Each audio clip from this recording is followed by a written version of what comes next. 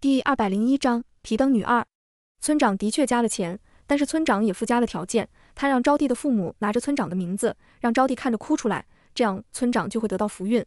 可遗憾的是，招娣在仪式途中眼泪已经流干了，如今她根本哭不出来。于是招娣的父母为了村长给的几百块钱，竟用刀在招娣身上划出伤口，招娣最后痛到差点晕厥过去，这才流下了眼泪。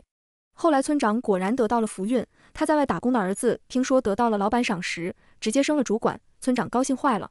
村民们一听提灯女哭果然有福运，便都跑来让招娣哭泣。招娣哭不出来，他们就想办法折磨招娣。再后来，那些村民果然也都得到了福运。不过人总是贪心的，于是来折磨招娣的人更多了。招娣就在村民们的折磨下死在了她十二岁这年。没有人知道，提灯女哭虽然会给对方一些福运，但福运是用对方的寿命换取的，并且对方越贪心，被抽走的寿命也就越多。招娣死了，死的时候怨气极深。很快就成了真正的提灯女，她每天深夜都会提着灯笼去寻找那些曾经找她求富的人。那些村民每一个都会以一种很恐怖的姿态死在家中。提灯女杀的人越多，怨气就会越深，出现的时间也就越长。据说夜晚看见的绿色灯光就是提灯女手中的灯笼。林然灿烂一笑，以上呢只是故事，大家不必害怕。诺诺眨巴着水汪汪的大眼睛看着林然，故事，可那些村民真的全部死了哎。刚才那个小哥哥马上也要死了呢，不过诺诺猜得到大师兄这样说是怕吓着大家，所以没有拆穿大师兄。卧槽，我都吓尿了。结果你说是故事，其实我不觉得可怕，我只是觉得那个叫做招娣的小女孩很可怜，她没办法选择自己的出生，也没办法选择自己的人生。呜呜，招娣好可怜啊！希望她下辈子投个好胎，有爱自己的父母，走出大山，好好学习，有美好的人生。等等，大师兄都说是故事了，你们怎么？大师兄说是故事，你们信吗？反正我不信，我也不信。其实我想说，那个村长真他妈该死啊！招娣当时该多绝望啊！呜呜，没关系，坏人都会死的。可是招娣杀了人，他不会被惩罚吗？林然心中叹息，他就知道大家不会相信这是一个故事的。会，但是他下意识依旧会很幸福。呜呜，那就好。判官大人肯定是好人。呜呜，前面的你说错了，判官是鬼。道义思。说顺嘴了，实际上判官是鬼神，比一般鬼牛逼多了，可以说是鬼，也可以说是神。那刚才那个男娃真的有一线生机吗？对哦，你不说我都忘了。林然点了点头，有的，毕竟他对提灯女一事没怎么参与，只要真诚忏悔，招娣会放过他的。其实说到底，招娣还是心善。提灯女一事虽然让观众们很难受，但好歹坏人们都得到了惩罚，最后的结局也还算不错，观众们也就没多说什么。很快。诺诺再次寻找了一个有缘人。第二百零二章，癞蛤蟆想天鹅。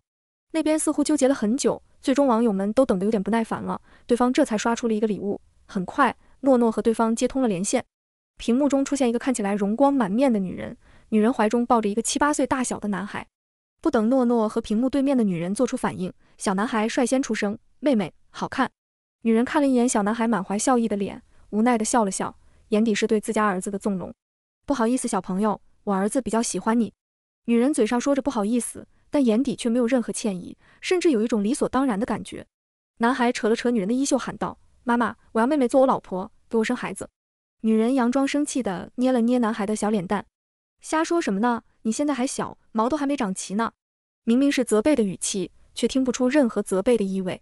男孩一把拍开女人的手，面容扭曲的大喊：“我不管，女人不就是专门生孩子的？我就要她给我生孩子。”林然垂在身侧的手突然动了动，大拇指和食指轻轻地摩擦着。诺诺知道这是大师兄生气的征兆，一般大师兄这个样子就是生气了。女人脸色变了一瞬，她也明白在这样的场合说这种话很不合适。然而不等女人做出反应，林然突然闲着开口：“小朋友想娶我们诺诺是吗？”男孩认真的点了点头：“嗯嗯。”林然冷笑一声，眼底写满了不屑：“呵，你也不撒泡尿照照自己配不配？你。”女人愤怒，想说些什么，却被林然眼疾手快的挂断了连线。呸！等死吧你们！你们这种人不配我花费时间和精力去营救。林然咬牙切齿的将人踢出了直播间，并且拉黑了对方的账号。随后，林然又将对方刷的礼物给退了回去。拿人钱财，替人消灾。收了钱，他们就得办事儿。但是林然并不想就这两个东西。卧槽！什么情况？妈的，那个小男孩说话好没礼貌啊！还小男孩呢，楼上的你素质挺好的，换我，我就喊他小逼崽子。什么思想啊？还女人本来就是用来生孩子的，难不成那个小逼崽的妈也是被这样利用的吗？真的好无语呀！第一次这么讨厌一个小孩子。那个小逼崽年纪也不大，估计都是父母教的不好。我看何止是不好啊，这简直就是父母在乱教。大师兄骂得好，我也好想骂他们。什么东西啊！我真服了，长得丑就算了，长得丑还出来吓人，就是他不对了。我们诺诺有钱有颜，背景强大，根本就不需要嫁人，好吧？目前为止，我们华国没有哪个男人比得过白总，所以我觉得没有人配得上诺诺。我也觉得。诺诺将自己胖乎乎的小手塞进林然宽大的掌心中，笑容甜甜道：“大师兄，不气不气。”林然勾唇一笑，顺势捏了捏诺诺肉嘟嘟的小手。“嗯，大师兄不气。他的确没必要生气，反正那对母子也离死不远了。”“嗷嗷嗷，诺诺好可爱，暖心小幼崽在线哄人。”“呜呜，好羡慕大师兄，我也想被诺诺哄。”我其实很好奇，刚才大师兄说不想救那两个人是啥意思？林然，他们印堂发黑，有血光之灾。其实他这话还算保守，实际上对方表面看起来没事，瞳孔却开始呈现灰黑色，这是将死之象。破解血光之灾并不困难，但破解对方的死局就有点麻烦，更何况对方惹上的还不是一般的鬼怪，而是蝎女。另一边，小男孩发现诺诺漂亮的小脸蛋没了，开始不依不饶的闹腾。一开始，女人也就是他母亲不小心点进了直播间，小男孩就被诺诺深深的吸引了，并且闹着要诺诺做他的老婆。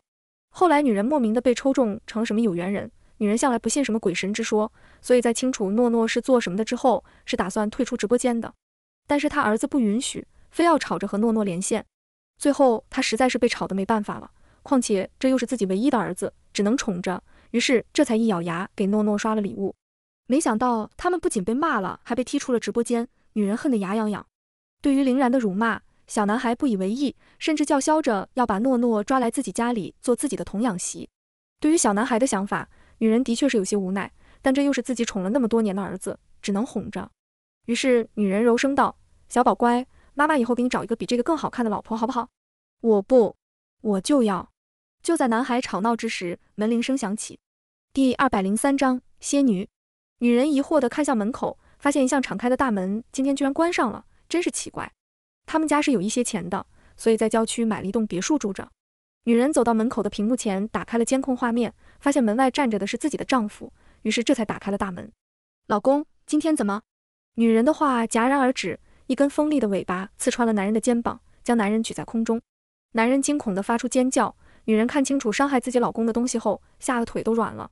只见眼前出现了一只巨大的蝎子，看起来至少有两米高。不说是蝎子也不对。准确来说，是蝎子身上长了一张人脸，那张人脸像是拼接在蝎子身上一样，看起来诡异又恐怖。而刚才刺穿男人肩膀的，就是蝎子身上尖锐的尾巴。男人在挣扎着低头，在看清楚蝎子身上的人脸后，心中大惊。蝎子不给女人做出反应的机会，尾巴一甩，同样刺穿了女人的肩膀，将她和男人串在一起。接下来就只剩下一旁已经吓尿了的小男孩了。小男孩见蝎子已经将目光转向了他，吓得他拔腿就跑。可是小孩子怎么跑得过这样强大又诡异的蝎子呢？于是毫无疑问，一声惨叫之后，小男孩也被串了起来。蝎子并没有在别墅中过多停留，而是带着三人跑进了别墅的后山之中。越往里走，男人脸色就越难看。女人和小孩在一旁不断的挣扎，然后被蝎子血红色的眼睛看了一眼，就吓得不敢动弹了。女人苍白着一张脸，小声的问道：“老公，这是什么鬼东西啊？”男人没有回答女人的问题，而是在思考自己一会儿应该如何逃脱。很快，蝎子在一处地方停了下来。这里四周是茂密的大树，阳光被遮得很严实，几乎透不进来。地上有五个深坑，深坑中有密密麻麻数不清的蝎子。深坑中的蝎子似乎对这个长着人脸的蝎子的到来很是开心，如今正激动地朝着地面爬着。人脸蝎子发出一声奇怪的尖叫，深坑中的蝎子瞬间安静了下来。女人和小男孩哪里见过这种阵仗，此时他们已经吓傻了。妈妈。突然，一道怯生生的声音传入几人的耳朵。他们费力地向下望去，发现是一个小女孩站在了人脸蝎子的身后，正用害怕的眼神看着他们。女人看见小女孩的一瞬间，便激动了起来：“赔钱货，你怎么在这里？”女人不喊还好，一喊人脸蝎子就不高兴了。她舞动着尾巴，将几人带到了自己的面前，近距离和人脸蝎子接触。女人被这诡异的模样吓得差点晕死过去。就是你整天欺负我女儿？人脸蝎子开口。血红色的眼睛死死地盯着女人，声音沙哑的不像话。他似乎已经很久没有说过话了。女人虽然害怕的浑身颤抖，在人脸蝎子的注视下，还是不得不开口回答。女人有些疑惑的开口：“你女儿，那不是我老公捡来的赔钱货吗？”朱光宗，你就是这么对我女儿的？人脸蝎子很是生气，伸出自己的一只脚插入男人的手臂中，男人疼得面色狰狞，却还是不忘记求饶。文静，静静，老婆，你放过我，我是有苦衷的，真的。呵，带着你的苦衷下地狱解释去吧。说着，人脸蝎子尾巴一甩，将几人全部甩在地上，几人被摔得感觉五脏六腑都要碎了。在男人还没反应过来之际，人脸蝎子已经将他扔进了一旁兴奋的蝎子深坑之中。深坑中的蝎子们争先恐后的朝着男人爬了过去，男人不断的发出痛苦的惨叫声。听到男人的惨叫声，女人和小孩抖得像筛子一样。女人现在已经完全懵了，如果她没记错的话，文静是她老公前妻的名字，所以眼前这个人脸蝎子是她老公的前妻。好荒谬可怕的结论，女人完全不敢相信。现在轮到你们了，人脸蝎子冷漠的开口。女人顾不上身体的疼痛，连忙跪地求饶：“文静，静姐，对不起。”是我不好，我不该勾引你老公，你大人有大量，原谅我吧。人脸蝎子的脸根本算不上是脸，因为她有一大半都是紫黑色的皮肤，所以女人一开始也没认出来这就是她老公的前妻。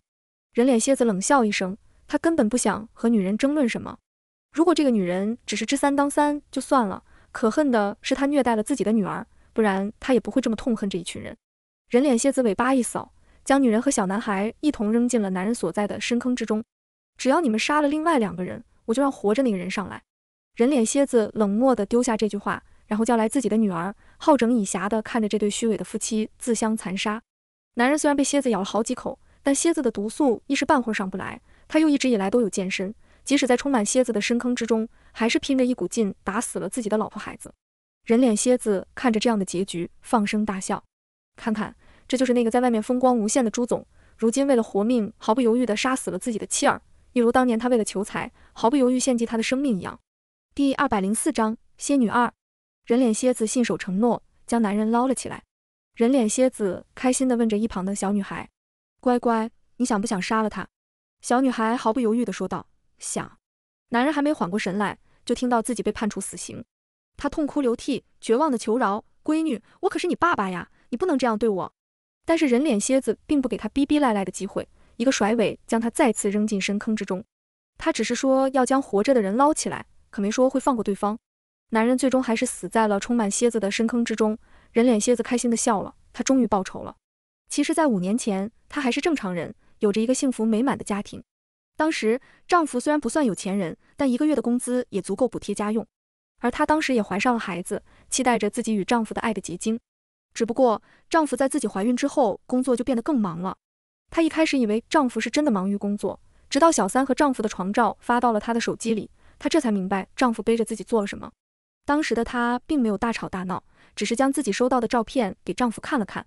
丈夫看了之后，居然理所当然地认为自己只是犯了全天下男人都会犯的错。从那一刻开始，她就对这个道貌岸然的丈夫不再抱有任何希望了。只不过当时她已经怀孕六个月了，再打胎也是不现实的，于是她决定留下这个孩子。生下孩子后，她原本打算和丈夫离婚，自己带着孩子独自生活。没想到丈夫竟然从一个所谓的大师那里听说了一种术法，据说只要她能够做出仙女，就能得到财运。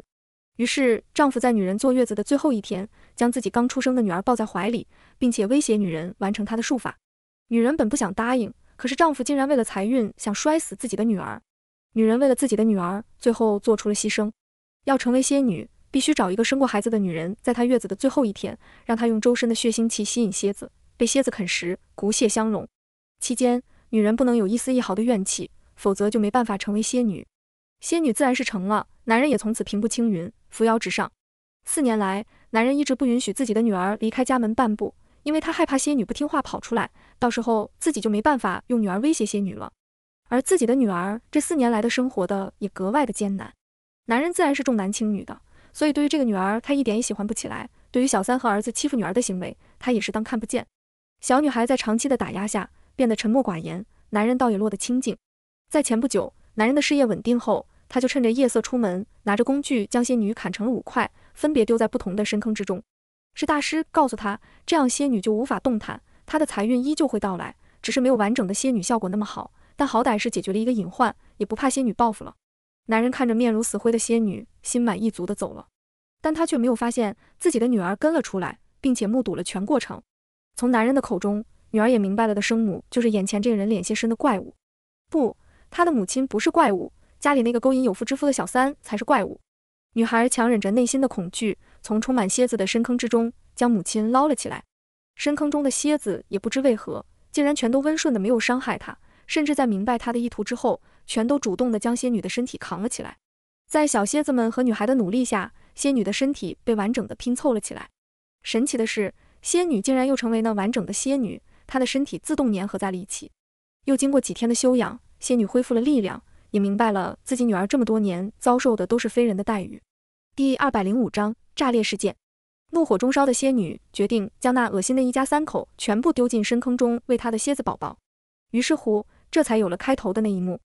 只不过，仙女终究不是人类。她想了想，自己的女儿不可能一直跟在她身边，于是她决定将女儿送到自己母亲家中去。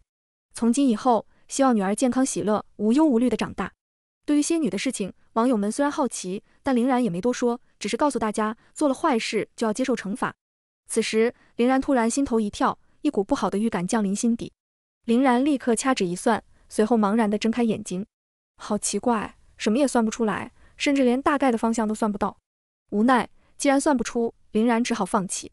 不一会儿，诺诺又找到了一位有缘人，对方很爽快地刷了礼物，随后申请连线。连线接通后，屏幕中出现一个看起来二十八九的男子，男子脸色并不好看，甚至有些颓然，看起来像是受到了很大的打击。诺诺看着男子的模样。感觉有些不对劲，于是掐指一算，好吧，果然很不对劲。男子也不管诺诺在做啥，自顾自地说了起来：“我好像真的很废物，我这一生碌碌无为，我不知道我在做些什么。我没有工作，没有老婆，现在也快没命了。啊，发生了什么？小哥哥别这么颓废，没有什么问题是过不去的。对呀，如果有什么困难可以说出来，大家一起帮你想办法。你可别寻死哦，世界这么美好，你可别想不开。对呀。”实在是不行，我可以资助你一些的。诺诺歪了歪头，心底有些疑惑。可是不工作只拿钱，本来就是不可能的呀。林然嫌弃的扯了扯嘴角，你看，三岁小朋友都比你懂事。嗯，这是什么发展？啥意思啊？我突然看不懂了。这有啥看不懂的？肯定是这男的想不劳而获。诺诺哥这教育他呢。原来是想不劳而获呀。那没事了。男子低下了头，似乎有些愧疚。对不起，我也不想这样的。但是我就是做什么都觉得很累，我只想躺着玩。我知道这样不好，但我好像确实，我也只想躺着玩。但是不劳而获是不可能的，大家想想就行了。就是就是，诺诺奶声奶气道：“小哥哥，主动认错才是好孩子哦。”林然，自首吧，至少还能减刑。男子，好。随后，男子放下手机离开，诺诺也挂断了连线。啊，什么情况？怎么突然就提到自首了？卧槽！这孩子是真听劝啊，让他自首，他真的去。所以他干啥了？这是林然，他杀人了。卧槽，卧槽，我去，看不出来呀，这么猛。何止啊，他手上还有血，我刚刚看见了，我还以为我看错了呢，所以不敢吭声。嗯，我也看见了。卧槽，他不会刚杀完人吧？林然默默地点了点头。卧槽啊，现在杀人犯都这么听劝了吗？嗯，怎么不算呢？震惊我八百年。林然眉头一挑，就这，这就震惊了。他算了一下，那男子杀人的原因，才是把他震惊到了。那男子有个堂哥，堂哥年纪比他大了一轮。堂哥开了一个工地，他跑去堂哥工地上班，发工资的时候还给堂哥送了礼，就是想着让堂哥多照顾照顾他。堂哥也确实照顾他了，只不过是给他派的活轻松了一些，但是他并不满意，因为他想躺着拿钱，他甚至觉得理所应当。堂哥当然是没同意，于是他一气之下抢上了堂嫂。对于这件事，堂嫂没有说出去，而他过了一段时间也就回了老家。回老家后，他谈了个对象，堂哥堂嫂没多久也回了老家开了饭店。堂嫂似乎对他有对象这件事有些吃醋，于是跑来各种给他送吃的，而他也有些心动。又过了一段时间，堂嫂发现堂哥染上了病，逼问之下才知道堂哥在外面找了小姐，于是堂嫂闷闷不乐，在外买醉，醉酒以后找上了他，并且又和他发生了关系。由于他是无业游民。堂嫂就说服堂哥，让他去他们的饭店帮忙。没想到他撞见了堂哥打骂堂嫂，当时他便火冒三丈。堂哥打骂了堂嫂之后，似乎不过瘾，转而又骂他窝囊一事无成。于是他一气之下，在堂哥午休的时候提刀抹了堂哥的脖子。看到堂哥流了好多血之后，他也瞬间清醒过来，不愿面对现实的他跑到了街上。第二百零六章林清风被绑，鬼使神差的他拿起了手机，点进了诺诺的直播间。不过还好，他的确听劝，对今后的量刑也会有好处。林然在直播间告诫着大家，一定要控制好自己的情绪，不要一气之下做出什么让自己后悔终身的事情。话音刚落，林然心头又浮现了不好的预感。林然再次掐指一算，依旧是什么都没算到。很奇怪，这究竟是为什么？不明所以的林然决定给林清风发去消息询问。然而消息发出去之后，林然许久都没有得到林清风的回复。此时，林然心底的不适越发的强烈。一般心中出现不好的预感，要么就是至亲之人出了问题，要么就是有邪祟作怪。不过目前的情况来看，大概率是师傅出了什么问题。诺诺似乎也感受到了什么，笑着和大家说了再见之后，就关闭了直播间。林然，诺诺，你算一下师傅在哪里？诺诺，好的。随后，诺诺心中念着林清风的生辰八字，手上不停地掐算着。诺诺皱着眉头，小嘴撅了起来，小奶音有些低沉。狮虎虎被绑起来了，在静香园程程浩。林然当机立断，走，我们去看看。他当然不觉得自己那个不着调的师傅会出问题，只是想看看谁胆子这么大敢绑他师傅。诺诺，好。林然就奇了怪了，为什么自己算不到师傅的相关信息，诺诺就可以算到？果然，长江后浪推前浪，前浪死在沙滩上。哎，林然还能算到更多吗？诺诺摇了摇头，不能了。不过狮虎虎看起来很生气。管家时刻关注着诺诺的动态，看见诺诺和林然起身往外走，于是连忙上前：“小小姐，您要外出吗？”诺诺乖巧点头：“对呀，张爷爷。”管家是要去静香园程程浩吗？诺诺是搭是搭。管家，如果我没记错的话，那个地方如今是穆老爷子的侄子在居住。林然，多谢张爷爷提醒，那我和诺诺就先走了。管家，好的，需要为您安排司机吗？林然，要的。管家立刻安排了司机小刘在车库等待，随后将诺诺和林然送上了车。白墨寒听着管家的汇报，烦躁地捏了捏眉心。诺诺长大了，用不上他这个老父亲了。诺诺这边刚离开不久，王氏的人就带着欺负过诺诺的小胖墩和老婆来求饶来了。然而他们连大门都进不去，就被安保人员给轰走了。对于这种公司快破产了就跑来求白总的人，安保人员见得太多了，他们甚至都懒得看那些人表演，干脆利落地把人给插了出去。王氏的人本来还想挣扎一番，然而大块头的保镖往外一站，他们就不敢吭声了。而另一边，江淮他们动作也很快，不到半天的时间，王氏的高层股东之类的就全都跑路了。天凉王破，王氏的破产已成定局，白墨寒也不会给他们后悔的机会。从今以后，小胖墩也嚣张不起来了。而幼儿园那边，校长也委婉的将小胖墩给劝退了。对于小胖墩的结局，幼儿园的小朋友们开心极了，毕竟小胖墩是真的到处欺凌弱小。坏事做尽。与此同时，静香园某小别墅中的客厅中一片狼藉。林清风被麻绳绑了起来，扔在沙发上。客厅中央的香炉被踹倒在地，挂起来的相框同样也被摔碎。第二百零七章林清风身世之谜。一位中年男人从相框碎片中扒拉出了一张照片，照片上中年男子微笑的脸正好被相框的玻璃碎片划烂。男人怒火中烧，冲到林清风面前就想给林清风一拳，却在对上林清风讥讽的目光后。高高扬起的拳头怎么也无法落下，男人眼中闪过一抹狐疑，不对劲，为什么这个疯男人和外公的眉眼如此相似？男人口中的疯男人就是林清风，不过在十几分钟前，男人还是称呼林清风为大师的。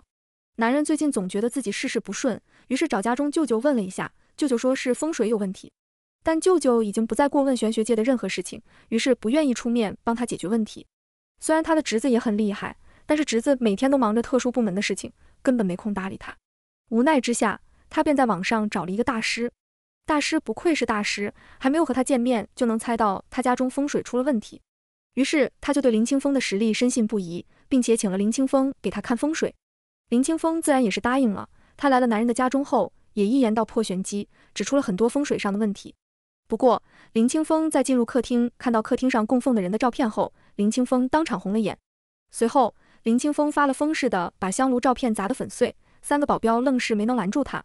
等东西砸完以后，林清风也冷静了下来，于是任由对方将他绑了起来。而男人虽然生气，但还是有一点点理智的，至少没趁机打林清风一顿。你说为什么要砸我外公的照片？林清风眼底闪过一抹惊讶，他是你外公？男人点了点头，是啊。林清风，那你母亲呢？男人突然炸毛吼道：“关你什么事啊？林清风深深地看了男人一眼，不可置信道：“小九死了。”男人疑惑：“你怎么知道的？”说完，男人意识到对方的确是有两把刷子的，所以算出他亲人的情况也很正常吧。男人叹息一声：“舅舅说，母亲本来就身体不好，在生下我之后没多久就走了。他父亲很爱他的母亲，母亲死后没多久，父亲也随着母亲离开了。舅舅说，父亲觉得把他一个人留在世上很对不起他，但是他更爱母亲，他不舍得母亲在下面孤零零的一个人。他从小无父无母，小时候对父母也没什么印象，所以除了有些遗憾没能体验父爱母爱，其余的也没什么。”况且他现在也三十好几了，也不在意这些东西了。男人思绪翻滚，突然又意识到不对劲。不对呀，你还没说你为什么砸我外公照片呢？林清风闭口不言，甚至闭上了眼睛。男人烦躁地说道：“你说话呀，不然我报警抓你了。”林清风睁开眼睛，瞥了一眼对方，语气淡然：“嗯，那你报警吧。不愧是小九的儿子，性格也是随了小九。他都已经闹出这种事了，还被绑了起来，对方身边还有三个保镖。”可好笑的是，对方竟然不想着打他一顿，而是交给警察处理。警察能怎么处理？他也没有伤人，就算是破坏他人财物，一个香炉，一个相框，也值不了几个钱。林清风不禁有些好笑，小九的孩子真是善良又愚蠢。而另一边，诺诺已经顺利进入了静香园的大门。第二百零八章，好痛苦，不直接叫啥名？男人被林清风气得咬牙切齿的，但又拿林清风没办法。就在这时，别墅的门铃被按响。其中一位保镖跑去打开了房门，入眼是一位英俊的青年男子，男子怀中抱着一个粉雕玉琢的小奶娃。保镖，请问找谁？林然，找被绑的那位先生。中年男子一听，立刻让保镖将人放了进去。林然看见林清风略显狼狈的模样时，差点没憋住笑出声。自己这个师傅比谁都凶，没想到也能有被人绑起来的时候。中年男子问道：“你好，你是这个疯子的弟弟吧？”林然，我是他徒弟。中年男子皱着眉说道：“我是这间屋子的房主，我姓荣。事情是这样的，今天请他来帮我看风水，结果他突然就把我外公的相框给砸了。你说说怎么办吧？”林然无奈地摆了摆手：“这事儿我做不了主啊，我就是来看看我师傅死了没。他没死我就放心了。”荣先生，你做不了主，那谁能做主？林然：“当然是他自己喽。虽然师傅向来吊儿郎当的，不像个好人，但师傅从来不会做什么坏事。这次师傅把人家的外公的相框给砸了，一看就是有原因的。”况且林然看林清风和这个房主之间有一条很淡很淡的线，由于已经接近透明，所以看不出来究竟是什么线。不过没关系，师傅肯定自己是清楚的，所以林然才不会插手这件事。而且房主看起来也没有恶意，甚至魂魄还带着大善人的光芒，所以即使他今天不来，林清风也不会出事。只不过嘞，他想来看戏，他也想知道师傅突然发癫是为啥。荣先生一听，转头看向林清风，语气一点也不带客气的。喂，你快点给我和我外公道歉，你道了歉我就放你走。林清风，给你道歉可以，但是他不行。林清风内心闪过一抹阴霾，那样的人还不配接受他的道歉。也是那人已经死了，否则他真的恨不得亲手宰了他。荣先生叉着腰说道：“凭啥呀？你必须给我外公道歉，不然我就一直绑着你，反正你徒弟也不管你，我看你怎么办。”林清风淡淡出声：“你困不住我的。”荣先生一梗。回头想想，好像也是，这种大师肯定会别人不会的技能，所以他要是真的想走，的确是走得掉的。想到这里，荣先生周身气焰都低了一分。荣先生无奈地摆了摆手：“哎呀，算了算了，你走吧，我自认倒霉好了。”于是保镖收到指令，上前给林清风解开绳子。林清风，你把门口那个白玉花瓶放到大厅去，你的风水就没问题了。见林清风还是愿意帮自己改风水的，荣先生有些高兴，刚要开口感谢，就又听见林清风说。另外，你整体风水布局是没问题的，只不过一些小细节上被人改动过。好好想想是谁改了我之前说的那些东西。有人要害你，你还丝毫不知，别和你母亲一样傻。说完，林清风就转身离开了，林然也抱着诺诺紧随其后。荣先生，他人这么好就算了，嘴巴也就算了，好无语，一时之间不知道该谢谢他还是骂他。看着几人离去的背影，荣先生无奈地叹息一声，算了，至少风水上没问题了。而且那个疯子也的确是给他点出了一个大问题，改他风水的人看样子是存心要害他。其实他也没有很生气，毕竟他对已经死去的外公没有太大的印象。他从出生之后就跟在舅舅身边，也是舅舅一直在照顾他。那时候年纪小，对周围的事物也没有太大的印象。他只记得外公不爱笑，甚至比一般人看起来要阴郁很多。外公从来不会抱他，也很少对他说话。在他四岁的时候，外公就去世了。所以他和外公没有太大的感情，只不过是舅舅让他要在家中为外公日日上香，他这才在家中弄了香火台。外公的照片是舅舅给他的，在照片的背后还有一个很小的照片，那张照片没有人脸，但是从仅剩的上半身可以看出，应该是一个男子。第二百零九章前尘往事。他曾经问过舅舅，那个人是谁？舅舅并没有回答，只是让他一定要好好的给那个人和外公上香。至于相框被砸，他生气的原因，当然是因为林清风一个外人冒犯了家中的长辈，所以他才会如此愤怒。从他为外公和那个不知名的男子上香到现在，已经过去二十年了，他一直不知道那个男子到底是谁。不过今天他有一种奇怪的感觉，他感觉那个疯子就是那个不知名的男子。这种想法一出，他自己都被吓了一跳。仔细想想，似乎也不大可能。毕竟舅舅让他给那个男子上香，那个男子肯定是已经死了，而这个疯子可是实打实的活人，所以他这个想法绝对是荒谬的。想到这里，荣先生叹息一声，将自己整个人都陷进沙发中。算了，既然想不通，干脆就不想了。有时候知道的太多也不一定是好事儿。随后，他让佣人处理了一地的狼藉。不一会儿，手机铃声响起。喂，舅舅。手机里传来穆老爷子的声音：“小盛，你风水的问题解决了吗？”“解决是解决了，就是……怎么啦？”“今天遇到了一个疯子。”接着，荣盛将刚才发生的事情简单的说了一遍。“对了，舅舅，我觉得那个疯子的眉眼和外公长得特别像。”电话那头明显顿了一下。“他看起来年纪大吗？”“荣盛年纪不大，大概二十八九的样子。”“那你可知对方的姓名？”“荣盛不知道，我只知道他姓林。”穆老爷子，嗯，我知道了。挂断电话后，穆老爷子叹息一声，疲惫的闭上眼睛。是他痴心妄想了。小峰出事的时候才二十一岁，对方都二十八九了，怎么可能是小峰呢？况且小峰的事情已经过去这么多年了，且不说小峰大概率是死了，就算是小峰还活着，这么多年过去了，也不可能看着才二十八九岁啊。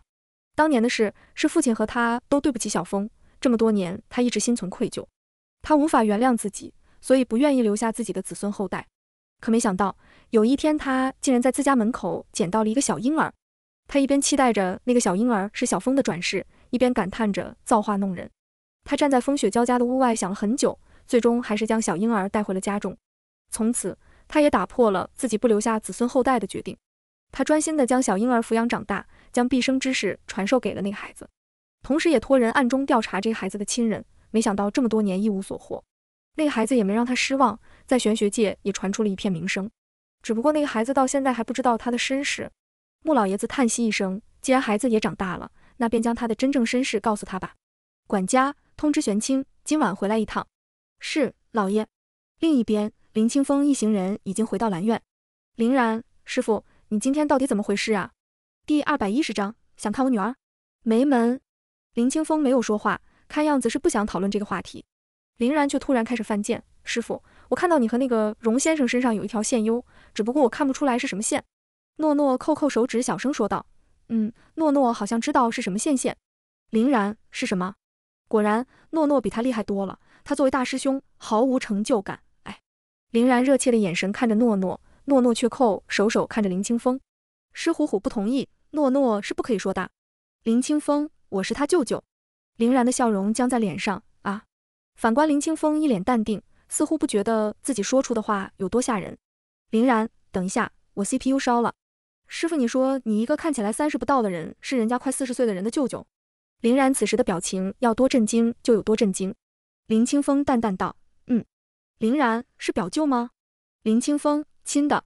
林然不可能，我不信。林清风翻了个白眼，转身离开。信不信随你，我先去休息了。林清风说走就走。留给林然一个帅气的背影，林然还是觉得震惊，并且不太相信。可是林清风刚才的表情太淡定了，完全没有说谎或者逗他玩的感觉呀。林然转身看向一脸乖巧的诺诺，这也太不可置信了吧？诺诺，你相信师傅说的话吗？诺诺，诺诺相信呀。林然，为什么？诺诺，因为狮虎虎和那个鼠鼠身上就是有亲缘线呀。林然，但是不能因为有亲缘线就确定他们之间是叔侄关系吧？况且还是师傅是那个叔，这合理吗？诺诺摇了摇头，诺诺不知道哦。林然也干脆摆烂，算了，管他的，反正师傅没事就行。诺诺，嗯嗯。虽然诺诺还是觉得湿虎虎说的就是真的，并且他还看到了一些很震惊的东西，但是湿虎虎不说，诺诺也不会说的。刘妈在一旁看几人聊得差不多了，这才走上前来，笑着问道：“小姐回来了，现在要吃饭吗？”诺诺要搭。你别说，诺诺这个小狗鼻子已经闻到香味了。诺诺的小肚子也非常配合的发出了咕噜咕噜的声音。刘妈心底偷笑，表面还是一本正经。好的，小桃上菜。她可不能笑出声，否则小小姐又要害羞的变成小鸵鸟了。诺诺看自己肚子咕噜咕噜叫，没有被发现，这才安心的溜了。诺诺去叫八八次饭饭。二楼听到管家汇报诺诺已经到家后的白墨寒脸色好了很多，正在视频会议讲解方案的主管心里也松了一口气，吓死了。他刚才还以为自己方案做的太差，惹得白总不高兴了呢。这份工作工资的确是高，就是老板太凶了，自己小心脏容易受不了。哎，爸爸，自饭饭了。诺诺软乎乎的小奶音伴随着小家伙一同出现，理所当然的小家伙的声音也传入了正在视频会议的每一个高层的耳朵里。高层们，呜呜，大小姐好可爱呀！怎么会有这么可爱的小女娃？好想偷回家呀！烦死了，自己家里都是臭小子，一点也不可爱。天呐，听听这个软乎乎的小奶音，我直接死了。江淮今天也是想偷走诺诺宝贝的一天呢。白墨寒看见一群满脸春心荡漾的高层们，刚好起来的脸色瞬间垮了下去。散会。白墨寒冷声吩咐后，就眼疾手快地挂断了视频会议。想看自己乖乖软软的女儿撒娇，没门。第二幺幺章，转头就被诺诺卖了。不仅没门，他还得把窗户给焊死。女儿是自己一个人的，谁来都不好使。面对自家闺女软糯可爱的小脸，白墨寒心情好了许多。白墨寒笑着将诺诺抱在怀里，伸手捏了捏诺诺的小脸。诺诺刚才出门做什么去了？实际上，白墨寒什么都知道，因为管家会实时汇报诺诺的动向。诺诺去救狮虎虎了。诺诺贴近白墨寒耳朵，小声说着，似乎真的是害怕被林清风听见。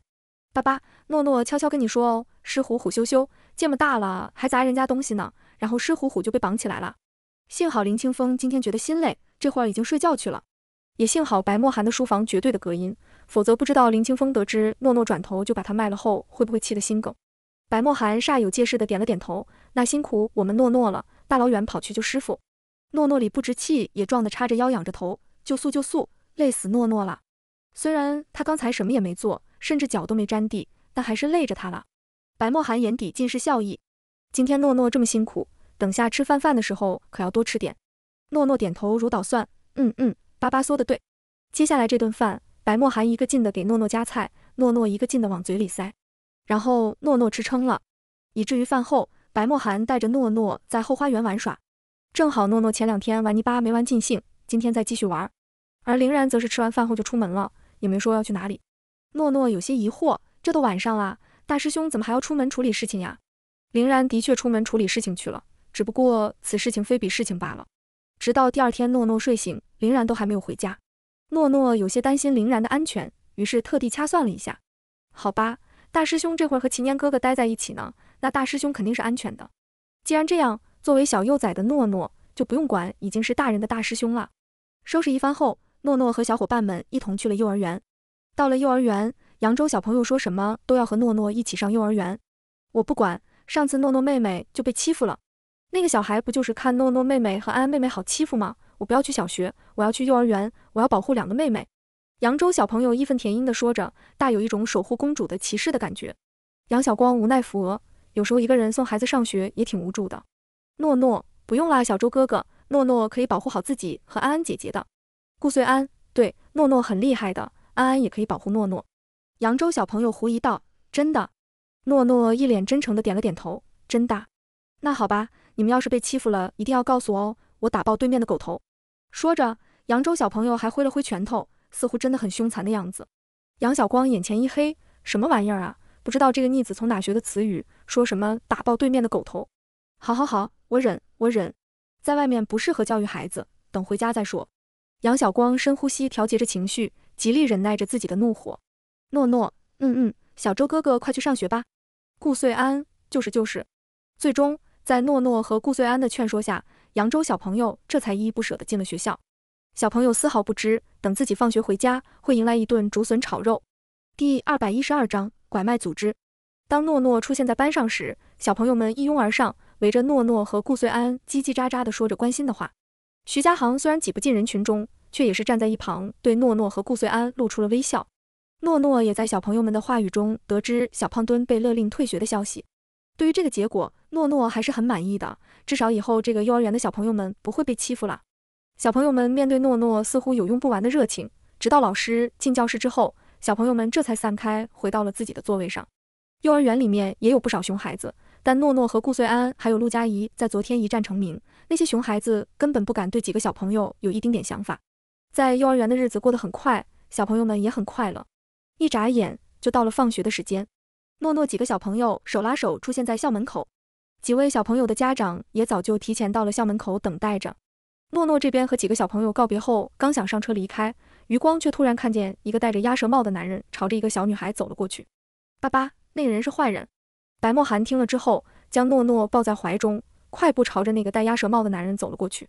那个男人已经和小女孩交谈了起来，小女孩似乎不认识男人。看向男人的目光带着警惕，小梦梦，我真是你妈妈的朋友，你妈妈在公司加班，让我来接一下你。你要是不信我的话，我这里有和你妈妈的合照，叔叔给你看看好不好？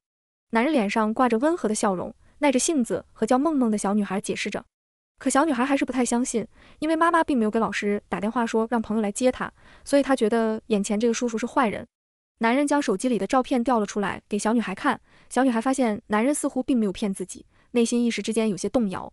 男人见小女孩对自己不再那么警惕，心中知道一定是有戏。小梦梦，如果你还是不相信我的话，我可以打电话给你妈妈，让你妈妈亲口告诉你。说着，男人拿着手机拨通了一个号码。电话接通之后，对面传来一个女人的声音：“喂，男人，陈姐，梦梦不相信我，以为我是坏人呢，你快和梦梦解释一下。”说完，男人将手机打开扩音，递到了小女孩面前：“宝贝，妈妈在公司加班。”这会儿正在忙项目，你和叔叔来妈妈公司陪妈妈好不好？小女孩犹豫的点了点头，好，嗯，宝贝真乖。挂断电话后，男人无奈的叹息一声，你看吧，叔叔没有骗你吧？小女孩抬眸看了一眼男人，随后又垂下了眸子。妈妈的声音和以前一样，但是又有些奇怪。走吧，梦梦，别让你妈妈等急了。男人催促着小女孩，小女孩有些犹豫。就在这时，诺诺突然跑到小女孩面前，一把拉住小女孩的手。而男人的身后，幼儿园的保安已经将男人插在了地上。姐姐，他是坏人，是专门拐小孩子的。小女孩震惊地瞪大了双眼，不可置信地看着眼前这个因为挣扎而面容狰狞的男人，同时内心也有些庆幸，还好自己还没跟这个人走。男人并不是自己一个人来的，他的同伙就在路边的车上，只要小女孩上了车，就没办法逃掉了。不过此时，白墨寒带来的保镖已经把车上的同伙给拿下了。第二百一十三章提名夸奖。一旁负责看管小朋友的幼儿园老师露出惊恐的表情，老师连忙给差点被拐走的小女孩的妈妈打了电话，对方表示根本没有找人来帮忙接孩子，他只是来的路上堵车了，所以到现在还没抵达幼儿园。没想到他这一堵车，差一点就酿成大祸。此时所有人都无比确信，这几个鬼鬼祟祟的男人一定就是人贩子。幼儿园保安在得知自己压着的男人是人贩子后，暗戳戳加重了手上的力道，其余人则是悄悄地踹了男人几脚。虽然看起来动作不大，但却把男人疼得龇牙咧嘴的。幼儿园门口此时有许多家长，他们在得知男人是人贩子后，大部分人都朝着男人吐了口水。人贩子这种玩意儿是最遭人唾弃的。警察也很快抵达现场，将几个人贩子带去了警局。这不查不知道，一查吓一跳。原来这几个人原本就有案底，几人在三年前就开始实施抢劫、诈骗等行为。奈何几人太狡猾，每次出门都全副武装。在网上诈骗也是用的买来的银行卡号，并且他们在一个地方捞了钱后就换地方了，根本不给警察反应的机会。这也就导致了这么多年几人的通缉令一直都在，却一直没能把他们捉拿归案。没想到几年后，这几个人手段升级了，跑去拐卖小孩了。警察顺藤摸瓜找到了和几人接头的人，直接端掉了一窝拐卖组织，救出了五名被困大山的小朋友。由于诺诺这次又立了大功，警局官方账号再一次对诺诺进行了通报奖励。诺诺的名声又一次传进无数有孩子的家庭中。毕竟，如果不是诺诺，恐怕不知道多少家庭也要遭受失子之痛。诺诺接受了警察们的夸奖，还被香香软软的警察姐姐给抱抱了。小家伙一时之间开心过了头，就连在回家的路上都还在傻笑。白墨寒看着诺诺傻乎乎的小模样，一股骄傲感油然而生。这么棒的小宝贝是自己一个人的，真好。不过一会儿，白墨寒咧开的嘴就闭上了，因为白老爷子打来电话。要求白墨寒将诺诺带回家吃饭。白墨寒不行，不想，不可以。回了老宅的话，诺诺就不是只属于自己一个人的了。虽然他可以肆无忌惮地对白老爷子，但是面对自己的生母白墨寒还是很尊重对方的。所以苏婉要将诺诺抱走的话，他根本没办法拒绝。白墨寒好烦，怎么这么多人想抢自己的宝贝女儿啊？诺诺对白墨寒的心理活动并不知情。白老爷子怕白墨寒不带诺诺回去，所以特地给诺诺发了语音消息。诺诺听了，马上乖乖的回应，说自己放假了就去陪爷爷。白老爷子听了开心极了，还是自己的乖孙女好啊。诺诺到家吃完饭后没多久，林然才回到家中。此时诺诺正坐在客厅看电视呢。大师兄，林然身体一僵，似乎做了什么亏心事一般，机械的转过头去。诺诺还不睡觉呢？诺诺，嘿嘿，诺诺一会会就睡觉觉了。林然看诺诺没有发现什么异常，悄悄的松了一口气。嗯，乖。小朋友要早点休息。诺诺疑惑地歪了歪头，大师兄，你怎么忙了一天才回来呀？林然刚想说话，诺诺突然惊讶道：“咦，大师兄，你脖子肿么啦？肿么红啦？”说着，诺诺焦急地跑向林然，打算看看他脖子的红块是怎么回事。林然一惊，连忙捂住脖子：“没，没事，就是昨天被蚊子咬了。”诺诺眨巴着眼睛，大大的眼睛里面透露着清澈的愚蠢：“真的吗？可是……”蚊蚊肿么会咬这么大的包包啊？真的，大师兄什么时候骗过你？林然理所当然的点了点头，眼底闪过一抹心虚。诺诺跑到一旁，从小背包里拿出一个绿色的小罐子，递给林然。嘿嘿，大师兄下次出门把这个带上，有了这个东西，虫虫就不会咬大师兄了。嗯嗯，谢谢诺诺宝贝。林然表面这么说，心里却不是这么想的。要是那个家伙真的能被这个赶走就好了。诺诺并没有意识到什么不对劲，傻笑着说道。嘿嘿，不客气。第二百一十四章，突然，随后面对诺诺傻乎乎又清澈的目光，林然实在是有些心虚，说了一句有些累了，就跑回了房间。回到房间后，林然拿出手机，噼里啪啦的打着字，看那架势，估计是在骂人。另一边，诺诺照常算了一卦，发现今夜会遇到有缘人，于是小家伙迅速跑上了楼。八八，白墨寒停下忙碌的手，顺势将诺诺抱到了自己大腿上。怎么了，宝贝？诺诺抱着白墨寒的手臂撒着娇，诺诺想晚一点点睡觉觉。白墨寒柔声道：“为什么呢？”诺诺：“因为诺诺算到今天晚上会遇到有缘人，所以要晚一点点睡觉觉。”白墨寒：“可以，不过诺诺也不要忙到太晚，知道吗？”“知道啦，谢谢爸爸。”诺诺甜甜一笑，在白墨寒脸上吧唧了两口。白墨寒心满意足的笑了，上扬的嘴角差点压制不住。“嗯，去吧，有什么事就和张爷爷说。”诺诺乖巧点头。嗯嗯，随后诺诺就回到了客厅，打开了直播间。哎嘿，诺诺怎么又直播了？芜湖闺女好可爱，今天闺女的丸子头可爱死了，呜呜，亲不到诺诺宝贝，我真的会很难过的。OK，诺诺好敬业，大晚上还直播嘞。诺诺扣手手傻笑，嘿嘿，诺诺算了一卦，发现今天晚上会有有缘人出现，敬业宝宝一枚啊，宝贝太乖了，为了不让人受伤害，大晚上还开播，么么么。这种宝藏小闺女，让我看看还有谁没关注。哎嘿，我可是老粉喽！在观众们有说有笑的欢快氛围中，诺诺今晚的有缘人出现了。当诺诺念出对方的网名时，对方显得很是激动。啊呀，是我抽中了吗？好开心！诺诺，是的呀，小哥哥。随后，那人快速刷了礼物，和诺诺申请了连线。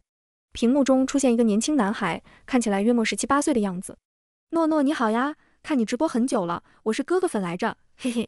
说着，男孩不好意思的挠了挠头。诺诺甜甜一笑，小哥哥你好呀，感谢你的喜欢，诺诺很开心。小哥哥，你是在车车上面吗？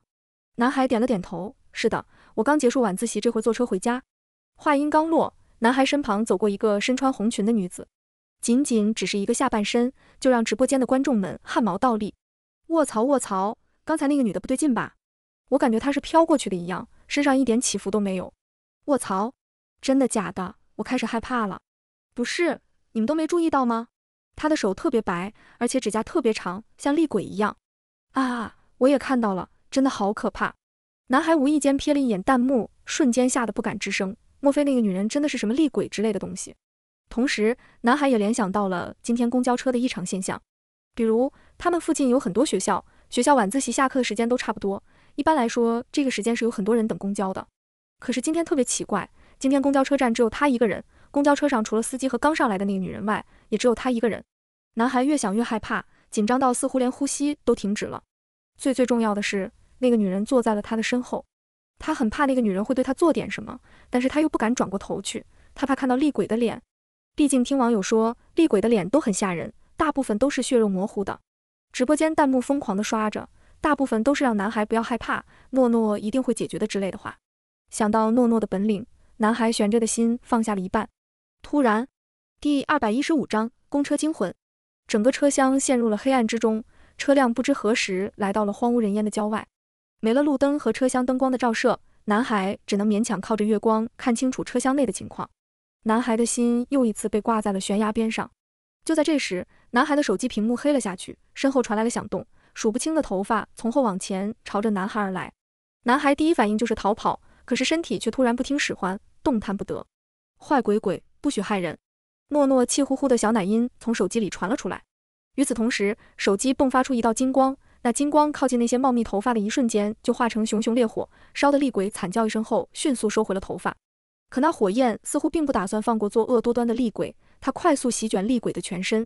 不到一分钟的时间，厉鬼便被火焰吞噬殆尽，只留下一缕青烟在这人世间。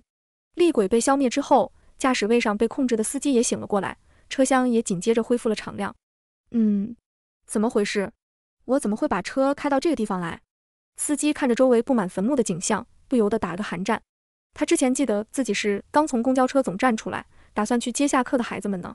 然后他突然从后视镜里看到了空无一人的车上多出了一个女人，再然后他就晕了过去。醒来以后就到了这个看起来格外恐怖的地方。男孩缓了一会儿才找回自己的声音：“诺诺，我们这是安全了吗？”手机在厉鬼消失后就恢复了直播画面。诺诺笑着点了点头：“是的呀，坏鬼鬼已经被诺诺消灭了，小哥哥不要害怕。”听着诺诺软乎乎的小奶音，男孩觉得无比的安心。驾驶位上的司机注意到了后排有人在。于是带着胆子走了过来。喂，你是人吧？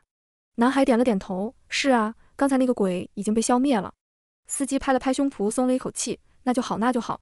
他这人胆子虽然不小，但是也还是怕鬼这种东西的。话说，我怎么会开车到这种地方来呀？对于自己的异常行为，司机也很疑惑。诺诺解释道：“因为叔叔，你刚才被坏鬼鬼控制了。”司机：“那那我现在没事了吧？”诺诺：“没事了呀。”叔叔，你这两天不要晚上出门，多晒晒太阳就好了。司机连连点头，好，谢谢小妹妹。他很少上网，所以并不知道诺诺的厉害。但是看刚才的样子，他八成能猜到是手机里这个看起来很可爱的小女孩救了他，所以他下意识的相信小女孩说的话。诺诺，不客气的。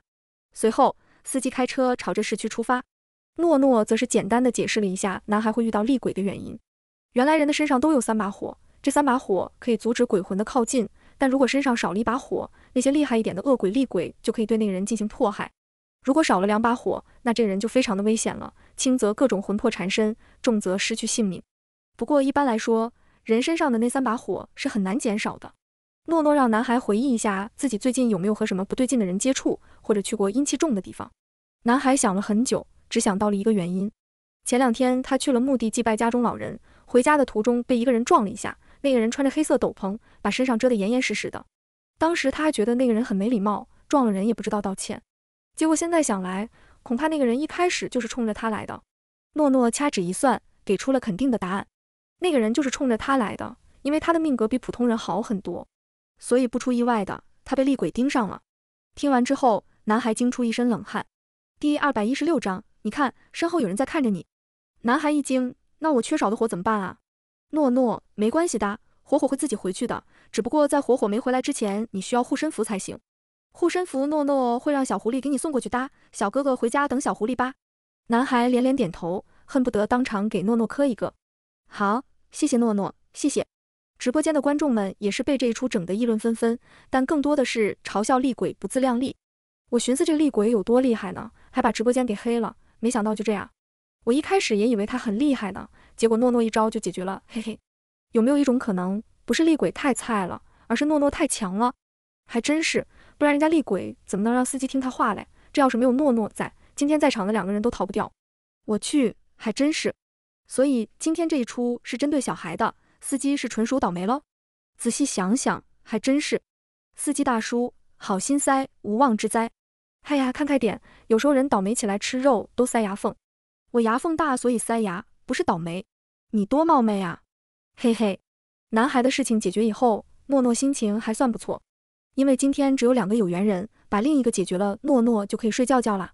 想到这里，诺诺干劲十足。很快，诺诺就连线到了下一位有缘人。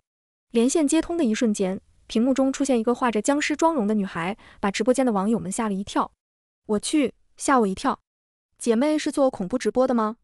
这妆容画的挺好的，第一眼我还以为是真的呢。下次这种能不能说一声再出现？突然出现真的很吓人。呜呜，没事没事，跟着诺诺一起见得多了，也就不怕了。女孩开口说话，声音甜美，倒是和吓人的妆容不太符合。诺诺你好，我先自我介绍一下，我是做直播的，直播的内容大概就是跳一些带一点恐怖元素的舞蹈，其实也不全是恐怖的，也有可爱的，然后直播效果也还不错。但是直播途中偶尔也会有人说一些吓人的话，不过我知道他们说的是假的，我也不太在意。只不过就在今天，我看到直播弹幕有个人说，说我的身后有一个白头发老太太抱着一个小孩子，一直盯着我。当时我也以为没什么，但是我从直播镜头里面真的看到了网友说的老太太和小孩子。我当时被吓坏了，然后过了一会儿再看的时候，那老太太和小孩子又不见了。很多人说我是直播太累，出现幻觉了，但是我觉得不是幻觉，我感觉我是真的看见他们了，并且我感觉他们没有走远，他们就在我的附近注视着我。女孩惊恐的表情和颤抖的声音，更为她说的话增添了可信度。直播间观众们也在评论区议论纷纷。我感觉是真的吧？小姐姐应该不是来大冒险的吧？前面的你们糊涂啊！能被诺诺连线的人哪里有不出问题的？我靠，忘记这一茬了！救命！我光听描述我就已经吓得不行了。这个姐姐是一个大主播，在另一个平台播的，平时我也会看她，没想到她突然就出事了。我靠！大家别怕，有诺诺在，没意外的。所以说这种微恐直播的都会遇见那啥吗？也不一定啦，有可能就是小姐姐运气不好而已。诺诺掐指一算，疑惑的眨了眨眼。姐姐这两天都接触过什么东西啊？第二百一十七章。防人之心不可无，接触什么东西？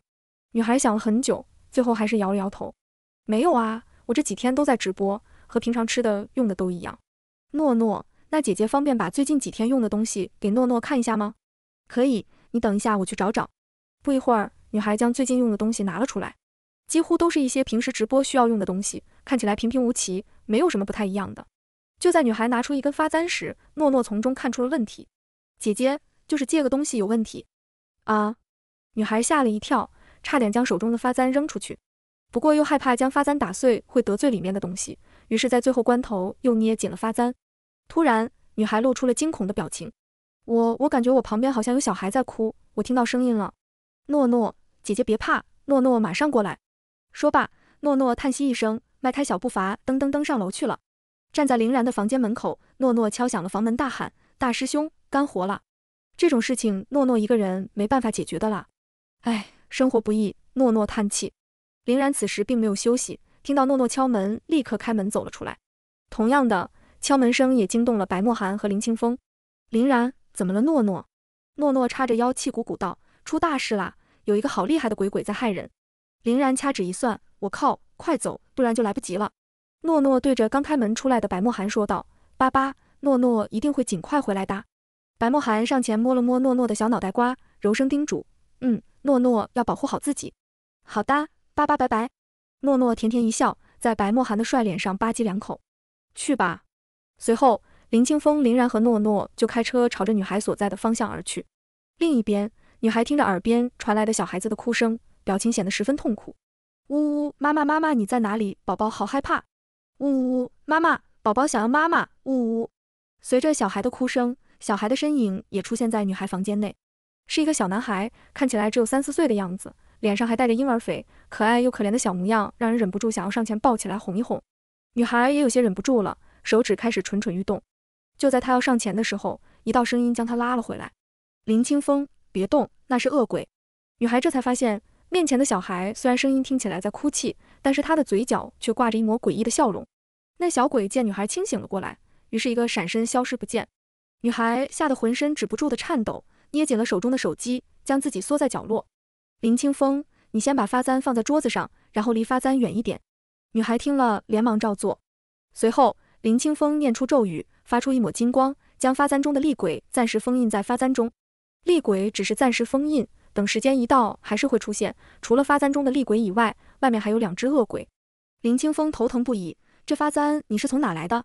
女孩颤颤巍巍地回答道：“是我的一个同事送我的，说和我的服装很搭，我就待了两天。”此时，女孩已经意识到这发簪里面恐怕有很不得了的东西。她和那个同事平时也不过是点头之交，很少有其他的交集。这次同事突然送她发簪，她本来不想用的，结果她一开始准备好的发簪不知道怎么回事碎了，她才不得不用这个发簪。现在想想，如果同事从一开始就打算置她于死地的话，那么一切就都说得通了。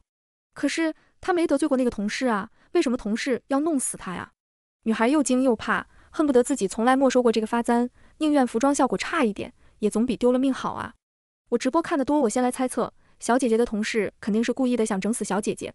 哼哼，不瞒你们说，我猜师傅刚才的手法是封印发簪里面的脏东西呢。还有，诺诺他们现在出门了，能让诺诺他们去现场解决的东西都不简单。马蒂，细思极恐啊，家人们，好可怕，好可怕！女孩看着屏幕上的评论，心底格外的崩溃。第二百一十八章找新妈妈。首先，她没惹任何人；其次，她没惹任何人；最后，她没惹任何人。呜呜，凭什么针对她？不过，不等她多想，屋内的灯光突然开始闪烁，肆意涌动的风将明明锁死的门给撞开，一大一小两个身影从门外飘了进来。两道身影越来越近，在女孩面前停了下来。女孩定睛一看，是刚才跑掉的小鬼又回来了，这次还带了一个白头发老太太。女孩想起来了，自己今天在直播间看见的就是他们两个人。哦，不准确来说是他们两只鬼。小鬼指着女孩说道：“奶奶，妈妈，宝宝要她做我妈妈。”白发女鬼看了一眼女孩，嫌弃的转过头：“小宝喜欢这个女人吗？”小鬼：“嗯嗯。”白发女鬼：“可是这个女人的魂魄不够香甜，我们换一个人好不好？”小鬼不高兴了，直接开始撒泼。我不，我就要她做我妈妈，我就要。白发女鬼无奈的叹息一声，好好好，小宝乖，奶奶听小宝的。小鬼这才高兴的笑了起来，只是笑得有些诡异。白发女鬼看着在角落瑟瑟发抖的女孩，轻哼一声道：“虽然你的魂魄还不够香甜，不过既然小宝喜欢，那我就勉为其难接受你吧。”说完，白发女鬼五指成爪，朝着女孩扑了过去。女孩双眼一闭，连自己死了吃席摆几桌都想好了。然而。想象中死亡的痛苦并没有袭来，直到女鬼发出了刺耳的尖叫声，女孩这才疑惑地睁开眼睛。这不看不知道，一看吓一跳，自己的体内不知何时爆发出了耀眼的金光，女鬼的皮肤被灼烧溃烂，倒在地上发出痛苦的哀鸣。好奇怪，明明这金光在自己身上感觉暖洋洋的，怎么到女鬼身上就这么恐怖？而那个小鬼则是被金光吓得躲到一边的角落去了，不知死活的小鬼。林清风轻哼一声，甩出两张定身符。他们还有一会儿就能到女孩住的地方了，可不能让这两个小鬼跑了。虽然他们实力不咋样，但也算是作恶多端。女鬼被定身符定住，无法动弹，只能默默地承受金光带来的痛苦。女孩立刻反应过来，原来是大师救了她。谢谢大师救我狗命，谢谢谢谢。林清风微微点头，没再说什么。直播间的观众们，啊，我以为这两个鬼多厉害呢。搁那儿逼逼赖赖半天，结果就这，笑死我了！还不够我们师傅一根手指头的，一时之间分不清楚是师傅太强了，还是这两只鬼太弱了。其实我觉得这两只鬼也不算特别菜，毕竟还能强行破门而入呢。我有个疑问，鬼不是可以穿墙呢？他们为啥要费力气去破门？可能为了装十三？嗯，好有道理的解释。小姐姐别担心，有诺诺和师傅他们在，就是阎王爷来了也得靠边站。哎，过了哦。嘿嘿，大概是这个意思嘛。林清风瞥了一眼弹幕，其实那个人说的也没错，的确有诺诺在，阎王爷来了都得靠边站。当初他原本是将死之人，是那位大人告诉他，只要在几十年后将一个小孩子养到三岁，并且保护他一世平安，他就能活下去。他同意了这个交易，毕竟好死不如赖活着，他还想看着他狠心的父亲死掉呢。没想到一晃这么多年过去了，他从一开始的交易到现在，完全将诺诺当做亲女儿看待。其实他挺满意现在的生活的，希望穆家那群人聪明一点，不要来打搅他的生活。又过了一会儿，发簪开始发出震动，似乎有什么东西要冲破封印而出。与此同时，诺诺几人也抵达了女孩楼下。第二百一十九章，咻的一下头掉了。林清风掐指一算，嗯，刚好赶得上。另一边，发簪中窜出一缕一缕的黑气，将金光围绕了起来，最后将金光吞噬殆尽。待最后一丝金光消失不见时，发簪猛地从桌子上飘了起来。随后，屋内响起女人的笑声，声音尖锐刺耳，如同指甲划过黑板一样，让人听了耳膜难受。发簪中开始涌出大量黑气，黑气很快弥漫整个屋子。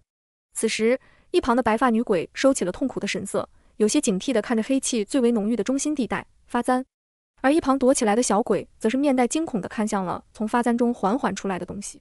女孩虽然躲在角落瑟瑟发抖，却也注意到了这一点。奇怪，这个小鬼为什么会害怕发簪里面的东西？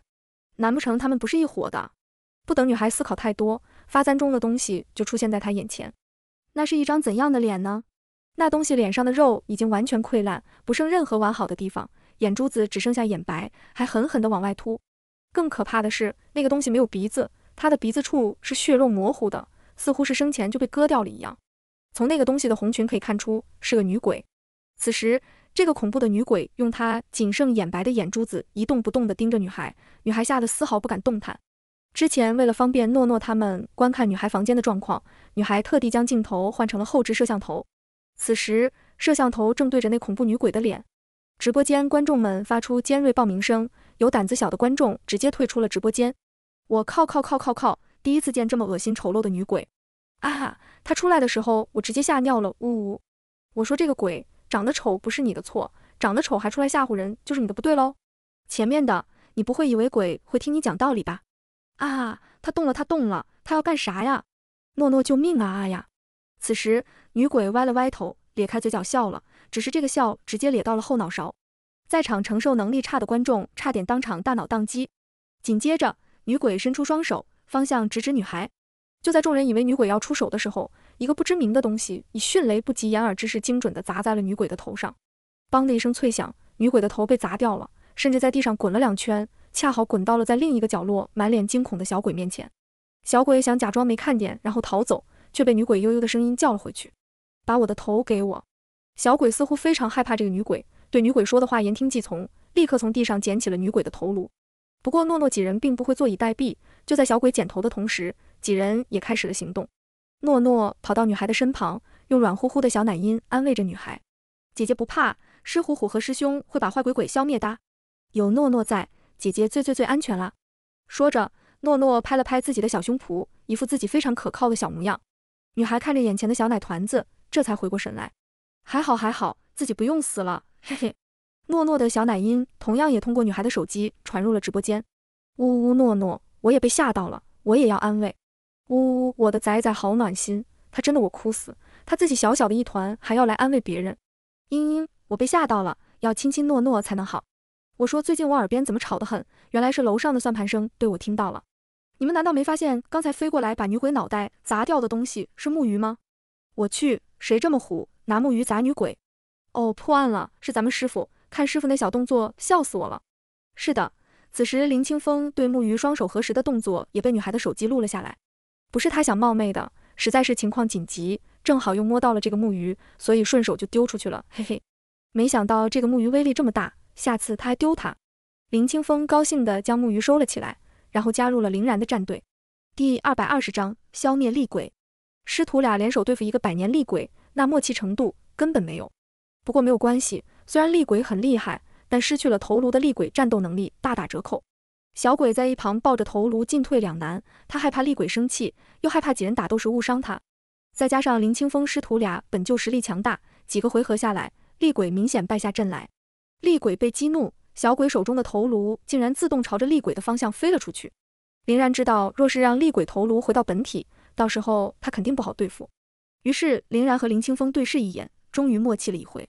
林然负责对付厉鬼的头颅，林清风负责对付厉鬼的肢体。又是几个回合下来，厉鬼再次落入下风。厉鬼发出愤怒的尖叫声，命令小鬼前来帮忙。小鬼纠结着步伐往前挪动了一步，下一秒就看见诺诺手中的符纸闪着下鬼的金光。小鬼刚迈出去的一小步，又缩了回去。违背厉鬼妈妈的话，顶多就是被打，但是现在上去帮忙可是会死掉的。在皮肉之苦和死亡之间，小鬼选择了承受皮肉之苦。而且厉鬼妈妈还不一定活得下来呢。如果厉鬼妈妈死了，就更好了。这样以后就没有鬼欺负他和奶奶了。到时候他一定要给自己找一个温柔善良的妈妈。这样想着，小鬼坚定了自己的内心，回到原本的角落缩了起来。林然不屑地翻了个白眼，这个小鬼根本没啥力量，就算是他来帮忙也没用。要是这个小鬼厉害的话，在刚才就不会是想办法迷惑那个女孩了，而是直接出手。见小鬼不听自己的话，厉鬼更加愤怒。林清风才不管厉鬼生不生气呢，三两下就把厉鬼的身体给捆了起来。厉鬼的脸实在是太辣眼睛，林然正在思考怎么把他的头颅困住，一旁的林清风拎着木鱼就上来了。只见林清风拿起木鱼，梆梆又是两下，厉鬼林然直接晕了过去。林然，师傅，你有这好东西，怎么不早点拿出来？别以为他不知道，这木鱼里面有很大的能量。师傅那两下虽然看着不重，但是是带了功德金光的。这厉鬼还算厉害的。承受了三下，才只是晕了过去。这要是换做一般的小鬼，恐怕就用木鱼锤一下就得灰飞烟灭。林清风瞥了一眼林然，没有说话。就算是有好东西，也轮不到给林然这个臭小子。他当然要把好东西都留着给诺诺用。别说是他手上的好东西了，就是以后这整个道观，他都打算给诺诺继承。林然，这三只鬼怎么处理？林清风一老一小送到特殊部门，这个厉鬼直接杀了就是。好。随后，林然拿出桃木剑。将指尖咬破，血液涂抹在桃木剑上，又拿起符纸贴在厉鬼的四肢以及头顶，最后林然一剑刺穿了厉鬼的心脏处。厉鬼惨叫一声后，身形化成一缕青烟，消散在天地间。一旁的白发女鬼和小鬼看见厉鬼死了，眼底露出一抹轻松，随后似乎意识到什么，又一脸害怕的看向林然。林然则是将两只鬼用符纸定住，随后给齐年发了消息。女孩对诺诺几人诚恳的道谢。林然告诉她，以后不要随意接下这种看起来有些古老的东西，说不定里面就住着厉鬼之类的。说起来，女孩被这三只鬼盯上也是无妄之灾。这厉鬼虽然厉害，却不能离开发簪容器太久，并且出现的时间并不固定。而另外一老一小两只恶鬼是一直跟在厉鬼身边的，正是因为女孩拿到了发簪，两只恶鬼才会出现。不过林清风在掐算了厉鬼和两只恶鬼的渊源后，却觉得有点意思。说起来，这三只鬼原本都是一家人。第二百二十一章林清风的危机。准确来说，白头发老人是厉鬼丈夫的母亲，小鬼则是厉鬼的亲儿子。厉鬼女生活的那个时代本就重男轻女，女人通常不被看重，同时她又被自己的婆婆，也就是那个白发女鬼日日刁难。丈夫对厉鬼女的情况视而不见，毕竟在他们那个时候，没有身份的女人从来就是男人用来娱乐的工具。厉鬼女的生活虽然艰难，但在生下儿子后也有了一丝改变。她原本要求也不高。只要自己能守着儿子平安长大就好，可生活却结结实实的给了她一耳光。没过多久，丈夫官场上升了职，一时更瞧不起这个没有家庭背景做依靠的妻子，于是丈夫将一个小官的女儿抬进门做了妾室。那时他对这个妾室并没有太大的意见，没想到这个妾室并不是什么安分的人，在进门后没多久便设计了她，让她背上了偷汉子的罪名，甚至被丈夫当场捉奸在床。丈夫一气之下，让人将她拖到柴房乱棍打死。可那个妾室似乎并不打算这么轻松的让她死掉，于是妾室买通了下人，让下人将她拖去乱葬岗，甚至让一堆乞丐凌辱她。她当然是不愿意被凌辱的，挣扎反抗之间，她摸到了头顶唯一的发簪。可她一个弱女子，就算有发簪也无济于事，甚至因为反抗激怒了那些乞丐。乞丐用发簪划烂了她的脸，凌辱了她之后，将她丢在了乱葬岗中。虽然乞丐并没有杀掉他，可他却被折磨的连从地上爬起来的力气都没有。最后，因为乞丐身上的脏污导致脸上的伤口感染，整张脸溃烂不堪。他拖着最后一口气，将发簪插入了自己的心脏处，了结了自己的生命。只不过他遭受了痛苦，怨气滔天，死后怨气经久不散，很快成为厉鬼。但由于自身血液和发簪相融，他的魂魄只能依附于发簪之中。成为厉鬼之后，他的第一件事就是想去找负心汉和妾室复仇。没想到在去的路上遇到了一个抛弃妻子的负心汉，他想也没想就杀掉了负心汉。此后他怨气大增，当天夜里他被怨气控制，失去心智，杀死了包括自己儿子在内的十二口人。等他清醒过来时，全家人的魂魄已经不知所踪。当时他也有过后悔，不过更多的是报复后的畅快。再后来，他无意中发现了婆婆和儿子的魂魄。原来当时婆婆和儿子死后，见他在疯狂吃别人的魂魄，婆婆就带着儿子躲了起来。最终成功躲过他的追杀，因为他能离开发簪的时间不定，于是他利用自己的能力压制着婆婆和儿子为自己打工，逼迫他们去外面诱拐无辜之人来到他身边，这样他就好杀人，增加自己的功力。几百年来被厉鬼女杀掉的人数不胜数，他儿子和婆婆也在他怨气的熏陶下进化成了恶鬼。厉鬼女虽然一开始是可怜的，但她不应该残害那么多无辜之人，所以她只能接受灰飞烟灭的惩罚。而她的婆婆和儿子是被迫的，需要判官审判后再做定夺。两个有缘人的问题都解决了，诺诺好心情的洗漱之后，扑进白墨寒的怀抱中安然入睡。白墨寒看着怀里软软小小的一团，心底一片柔软。在遇到诺诺之前，他从未想过自己也会有为了一个小崽崽牵肠挂肚的一天。深夜，一缕不知名的黑气从窗口钻了进来，直直地朝着白墨寒的方向飞了过去。大床一侧，在毯子上闭眼休息的白色老虎警惕地睁开眼睛，随后毫不犹豫地一巴掌拍在黑气上。那黑气就好像有实体一样，在承受了喵喵的一巴掌之后，很快便消散。喵喵看着还在美梦中的诺诺，心底叹息一声：看来有的人已经狗急跳墙了呀。喵喵眼中快速闪过一抹红光，随后回到原位，继续进入梦乡。第二日，林清风好心情地吃着早餐，在接到一通电话后，瞬间沉下了脸。第二百二十二章故人来电。电话那头，一道苍劲有力的声音传来：“你好，我是穆子明。穆子明就是穆老爷子的名讳。”听到这个名字时，林清风身体有一瞬间的僵硬。林清风并没有做出回应。穆老爷子继续说道：“听说你你对风水方面颇有造诣，能否请你为我穆家风水指点一二？”林清风毫不犹豫地拒绝了：“不能。”穆老爷子，那我们见一面可以吗？林清风：“不可以。”小风，算我求求你了，我也活不长了。就当是我死前最后的遗愿，可以吗？穆老爷子声音微微颤抖，带着一丝卑微和期待。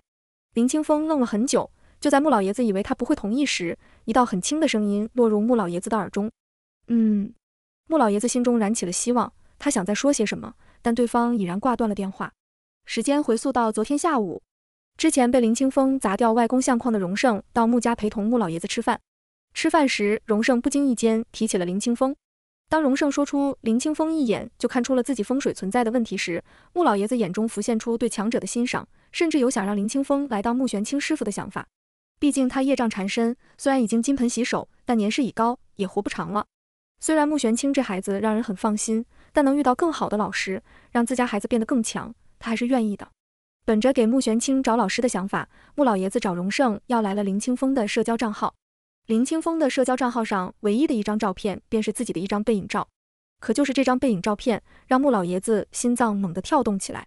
那是他几十年来都不曾忘记的身影，只一眼，他就无比确信这就是他的小峰。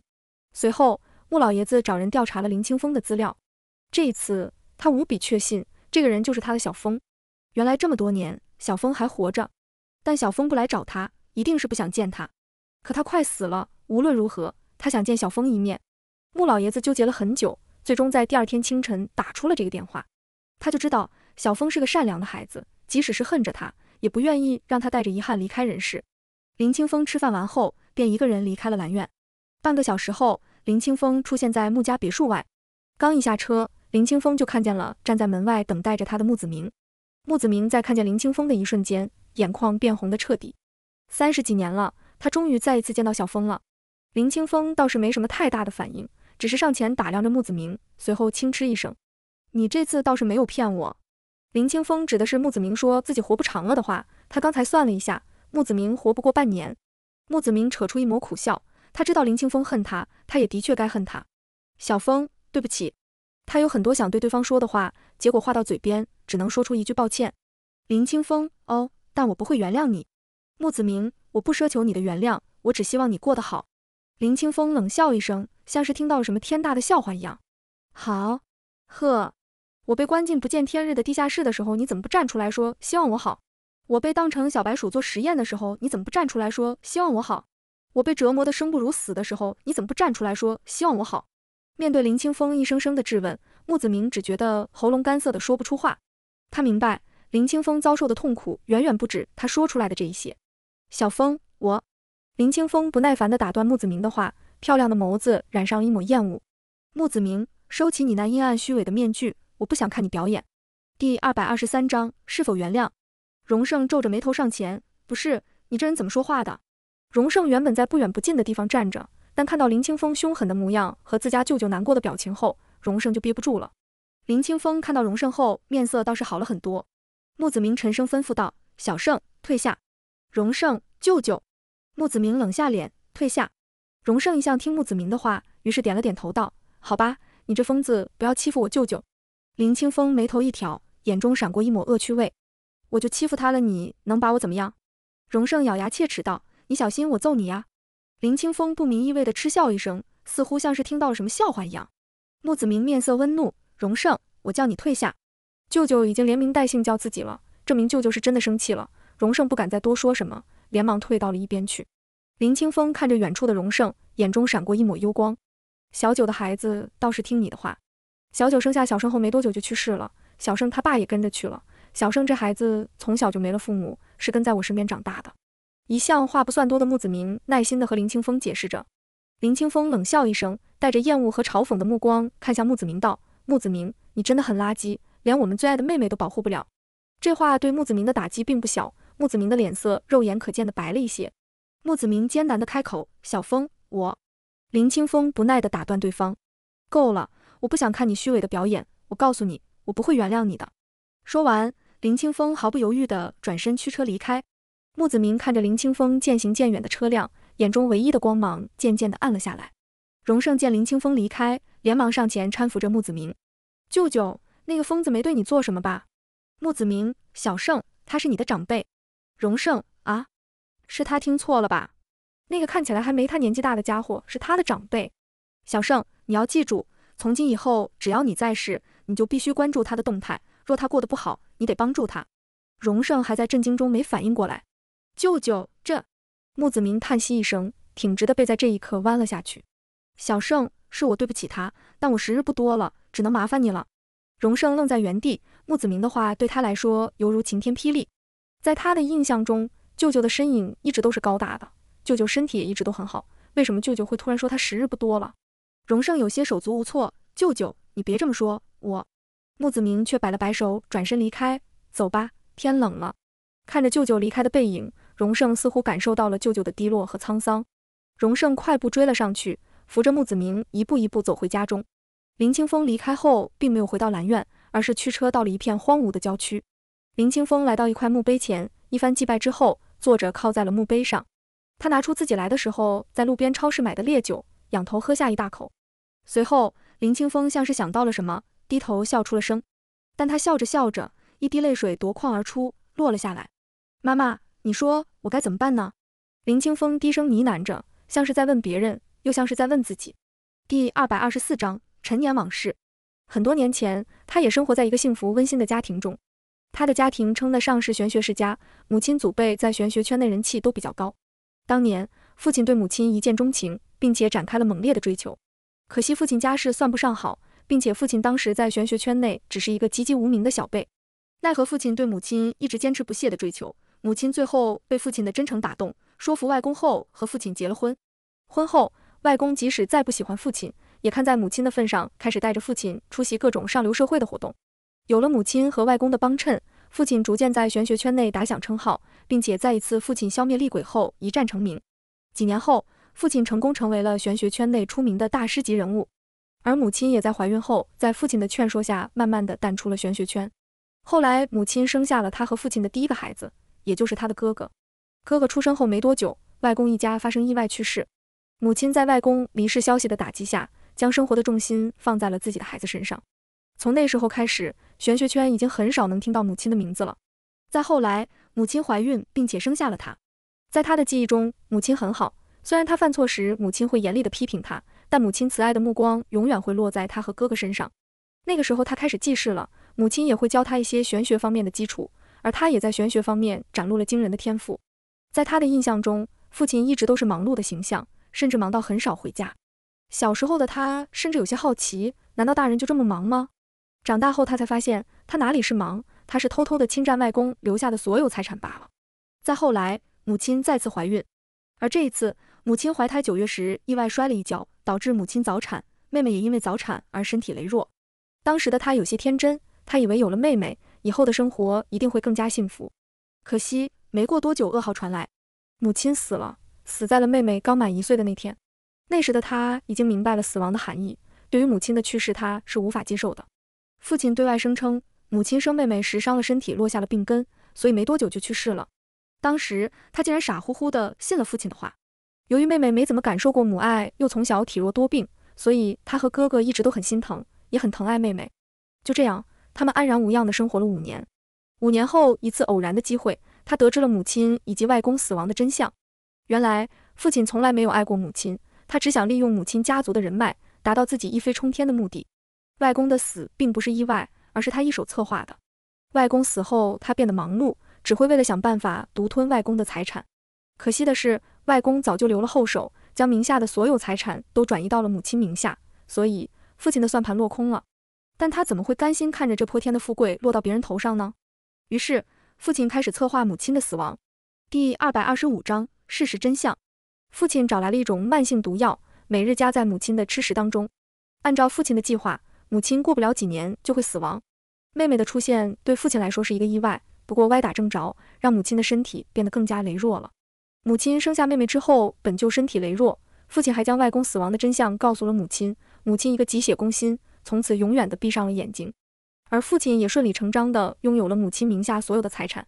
得知真相的林清风心中百感交集，他震惊、愤怒、痛苦，最终都转变成了仇恨。他没有急着去质问父亲，而是将这个秘密埋藏在了心底。并且拼了命的学习，就是为了以后能够比父亲更加出色。事实证明，他可以的，他也做到了。林清风二十岁时就已经在玄学圈内崭露头角，又在二十二岁时一战成名，从此成了人人夸赞的对象。在努力提升自己的同时，他也没有忘记收集父亲害死母亲和外公的证据。只不过，在他还没开始实施计划的时候，父亲率先动手了。一顿很平常的家庭聚会，却让林清风吃完以后晕了过去。再次醒来时，林清风已经身处一个阴暗不见天日的地下室了。起初，他是被蒙住眼睛的，他并不知道将自己关起来的人是谁，他只知道自己遭受了非人的折磨，那是一种无法形容的痛苦。绑架自己的人似乎是在自己身上做着实验，他不断的被抽血，又不断的被迫吞进一些奇怪的东西。他也尝试过逃跑挣扎，但始终无济于事。饭菜都是每天定时定点送到他嘴边的，如果他反抗绝食，那就会被饿上一天。一段时间下来，他变得沉默了，也变得听话了。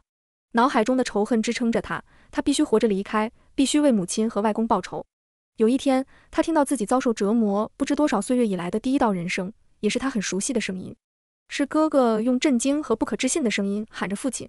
那一刻，他明白了，原来将他关起来那么久的人，就是他人面兽心的父亲。怪不得他会在自己家中被绑架，原来一切都是父亲安排的。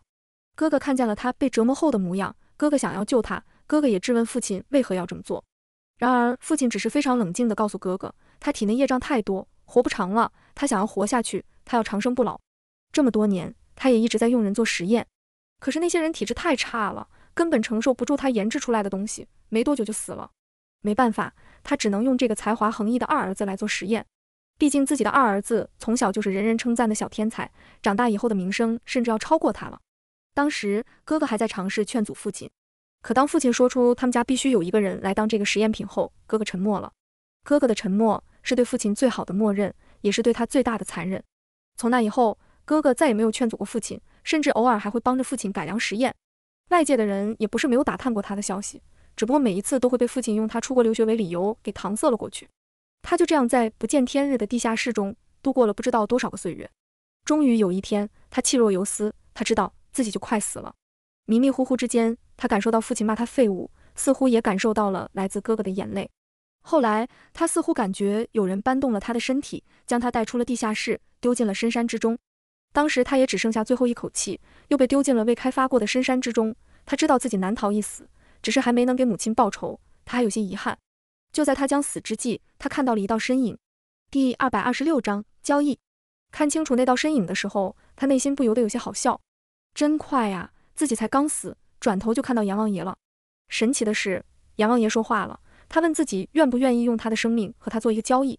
他毫不犹豫地同意了。阎王爷治好了他，并且赋予了他一些自己意想不到的力量。在那之后，他并没有急着回去报仇，因为阎王爷告诉他，他的父亲马上就会死去，并且按照他父亲的所作所为，会被打入十八层地狱受刑。对于父亲的这个结局，他很是满意。后来，他在山上找到了一个破旧道观。从那以后，他在道观住了下来。他偶尔会上街给人算卦，收一些钱来补贴自己的花销。再后来，道观在他的不懈努力下好了不少，他也收下了几名比较有天赋的弟子。他父亲死的那日，他其实去看了的，真好啊！曾经不可一世的男人瘦成了皮包骨，凄惨地躺在棺材里。如果不是他答应了阎王爷自己不能犯下任何业障的话，他一定会将他那恶贯满盈的父亲的骨灰都给扬了。其实他也不是没想过爆出当年所有事情的真相。可是又有谁在乎呢？这么多年了，他那聪明的哥哥又怎么会察觉不到母亲死亡的蹊跷呢？只不过是他贪生怕死，最终选择了沉默。一想起穆子明说希望自己好，他就觉得无比的讽刺。林清风起身，用衣袖擦拭着墓碑上的灰尘。可怜他的善良的母亲，被那种禽兽不如的东西害死，最终还只能落得个无名墓碑的下场。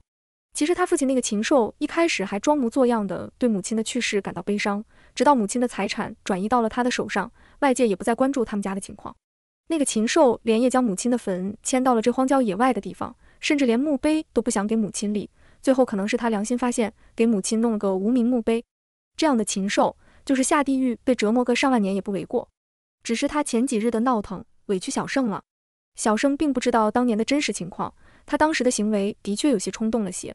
到底是自己最疼爱的妹妹的孩子，等找个机会帮他提升一下气运吧，也算是为自己的冲动行为道歉了。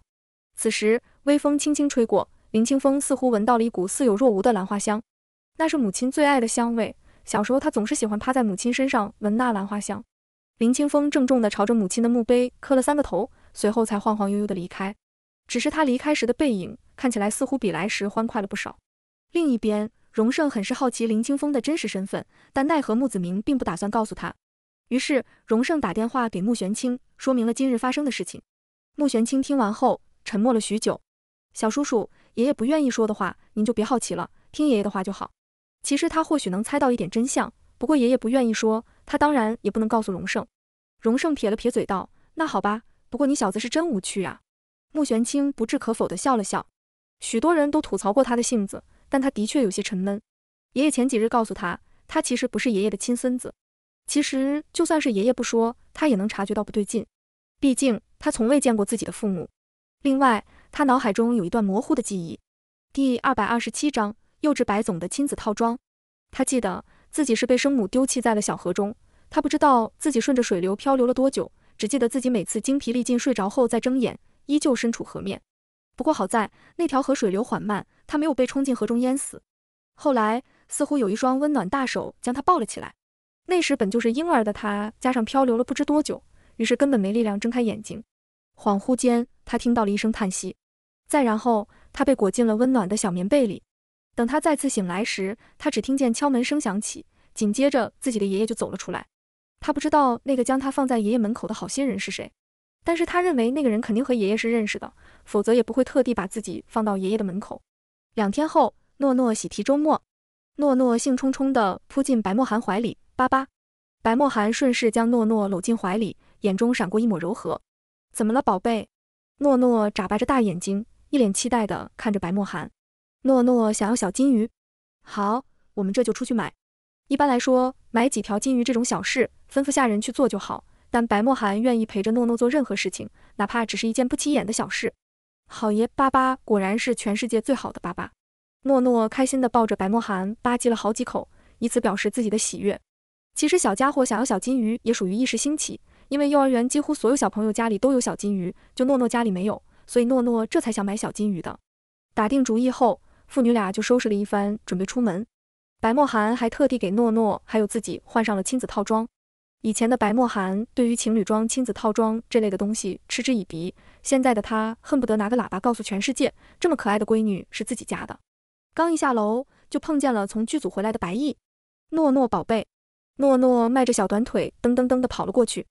四哥哥，白毅一把将诺诺搂进怀里，狠狠地吧唧了几口。闻着诺诺身上甜甜的奶香味，白毅只觉得一身的疲惫都一扫而空。哎呦，几天不见，想死四哥了，快让四哥抱抱。诺诺任由白毅吸他，乖乖地缩在白毅怀里。嘿嘿，四哥哥工作忙完了呀？白毅叹息一声道：“是啊，再不结束我就快疯了。其实按照剧组原本的排班，他还得半个月才能结束拍摄。但是再等半个月见不到诺诺的话，他是真的会发疯的。于是，在白毅的强烈要求下。”剧组把他的戏份拉了出来，提前拍摄，这才让他在昨天半夜结束了他的工作。然后白毅勉强休息了几个小时，一大早就迫不及待地回了兰苑。白毅看了一眼诺诺和白墨寒的穿搭，瞬间明白了，这父女俩是打算出门。否则他这个平时都是精英打扮的三叔，怎么会穿这种休闲卫衣呢？甚至衣服上还有卡通图案。诺诺这是打算出门了吗？诺诺素的呀，诺诺要和巴巴一起去买小金鱼。白毅眼中闪过一抹狡黠。那我也一起去。他就是故意问的，就是要诺诺同意带他一起出门，否则三叔那个女儿控肯定不会同意带着他一起的。但是诺诺同意了就不一样的，三叔是不会否决诺诺的要求的。诺诺毫不犹豫地应了下来。好呀，嘿嘿。白衣抬头瞥了一眼白墨寒，此时白墨寒脸色已经沉了下来。嘤嘤，怪吓人的。但是有诺诺在，他不怕。就这样，原本的父女双人游成了亲子三人游。而白衣不知道的是，他亲爱的三叔已经在思考把他绑了，丢去山沟沟里了。第二百二十八章傲娇羊驼。几人很快抵达一个大商城外，这个商城里面的东西琳琅满目，应有尽有，每一层都对应了一种分类，比如动物区、花卉植物区、服装区、奢侈品区等等。刚一出电梯，诺诺就被一侧的金鱼馆给吸引了。哇！诺诺大大的眼睛中写满了好奇。原来小金鱼并不是只有一种啊，这里的金鱼多到诺诺都快看不过来了。老板热情地上前问道：“小妹妹，买金鱼吗？”诺诺点了点头：“是呀，是呀。”老板顺着诺诺的目光看去，开始了介绍：“这是红龙禽，比较常见的一种金鱼。”白墨寒跟在诺诺的身后，将诺诺多看了几眼的东西都记了下来，随时准备刷卡购买。而白毅则是被一旁宠物店的羊驼吸引了目光。哎嘿，小羊驼，小羊驼，你说我帅不帅？觉得我帅的话，你就叫一声。那羊驼慢吞吞地咀嚼着嘴里的胡萝卜，轻飘飘地瞥了一眼白毅。只是这一眼，白毅竟然从里面看出了轻蔑和不屑。哎哎，你什么眼神啊？闻言，羊驼吐掉了嘴里的胡萝卜。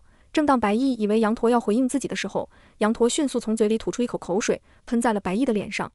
我靠！白毅猛地叫出了声。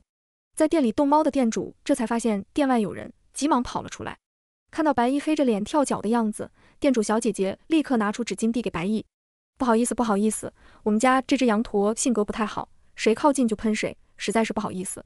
而且他在旁边贴了标语了，羊驼性格不好，请勿靠近。然而白毅没把标语当回事，跑去招惹羊驼，结果被喷了。白毅本来是有些生气的，结果一看对方是个女孩子，这才把怒火咽了下去。白衣摆了摆手，没事，是我的问题。一旁已经挑选好了小金鱼的诺诺也被白毅这边的动静吸引了过来。诺诺疑惑地看着白毅，四哥哥，怎么啦？白毅故作轻松地笑了笑，没事。诺诺，你买完小金鱼了？他当然不可能把自己被吐口水这么丢脸的事情告诉诺诺，否则自己在诺诺面前就没有哥哥的威严了。诺诺，买完了。白毅，那我们走吧。他不想继续留在这个丢人的地方。一旁的羊驼却突然叫了一声，引起了诺诺的注意。诺诺指着羊驼，疑惑地歪了歪头：“四哥哥，这个是什么呀？不说还好，一说这玩意儿，白毅就觉得丢人，甚至感觉自己脸上的口水还没擦干净呢。”是羊驼。诺诺上前一步，热情地挥挥手：“小羊，小羊，你好呀！”如今诺诺所在的位置，羊驼只要稍微一低头，就能把口水喷到诺诺脸上。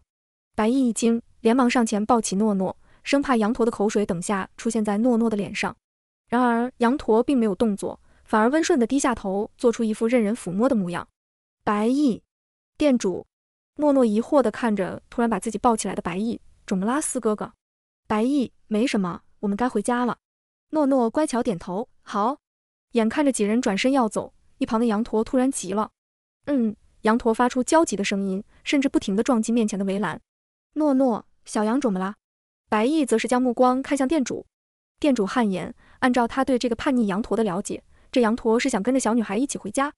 嗯，他想跟你一起走。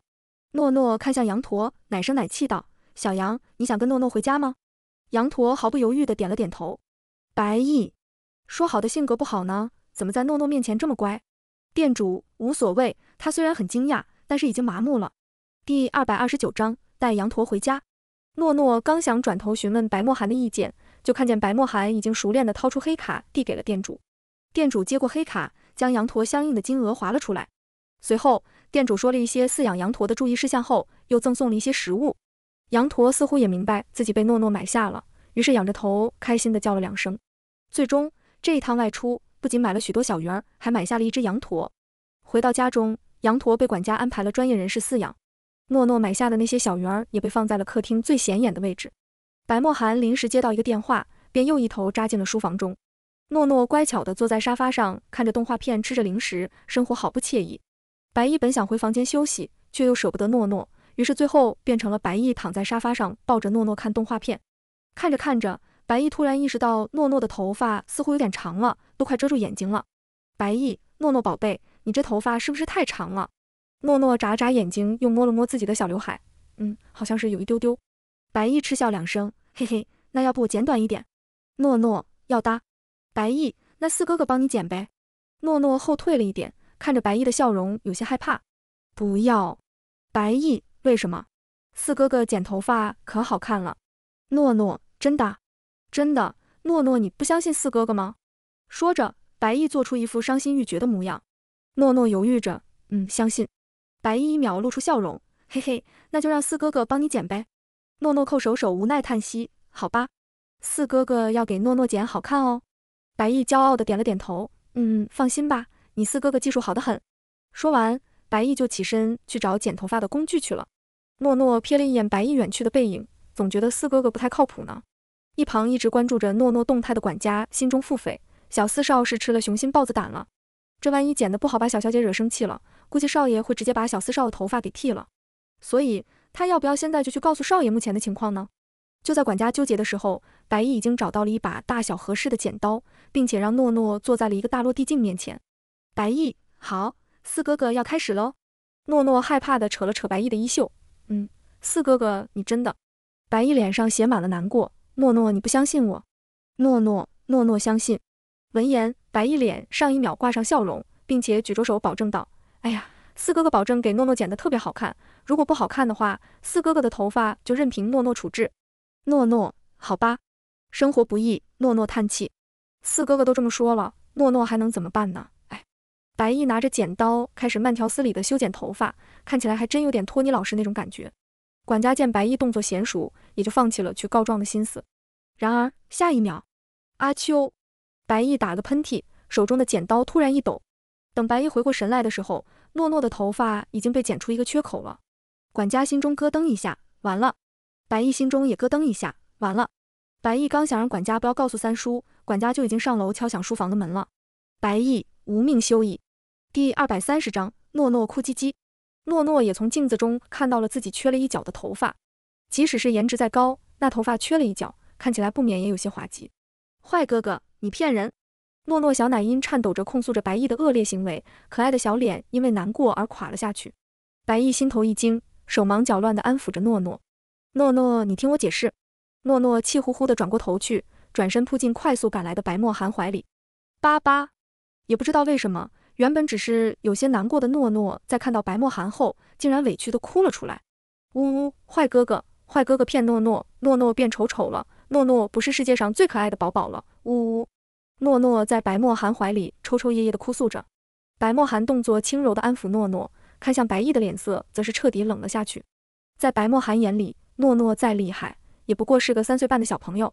白毅把自己的宝贝闺女惹哭了，那他真该死啊！白毅看着诺诺哭泣，心里也有些不好受。别说是白墨寒想打死他了，就是他自己也想打死自己。这个喷嚏怎么就来得这么及时呢？害得他把诺诺头发弄毁了。诺诺别哭。这次是个意外，四哥哥真的不是故意的。这样吧，诺诺也给四哥哥剪头发好不好？诺诺抬头看了一眼白毅，随后又难过的将脑袋埋进白墨寒怀里。可是，可是诺诺不好看了，呜呜！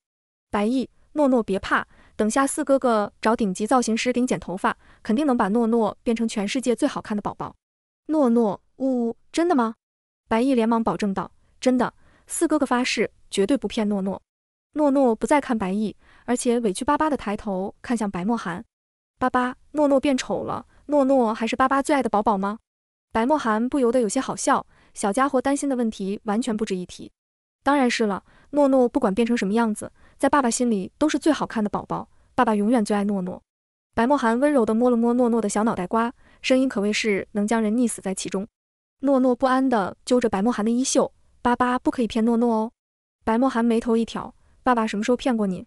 诺诺破涕为笑，抱着白墨寒的脸吧唧了好几口。嘿嘿，爸爸最好啦，诺诺也最爱爸爸。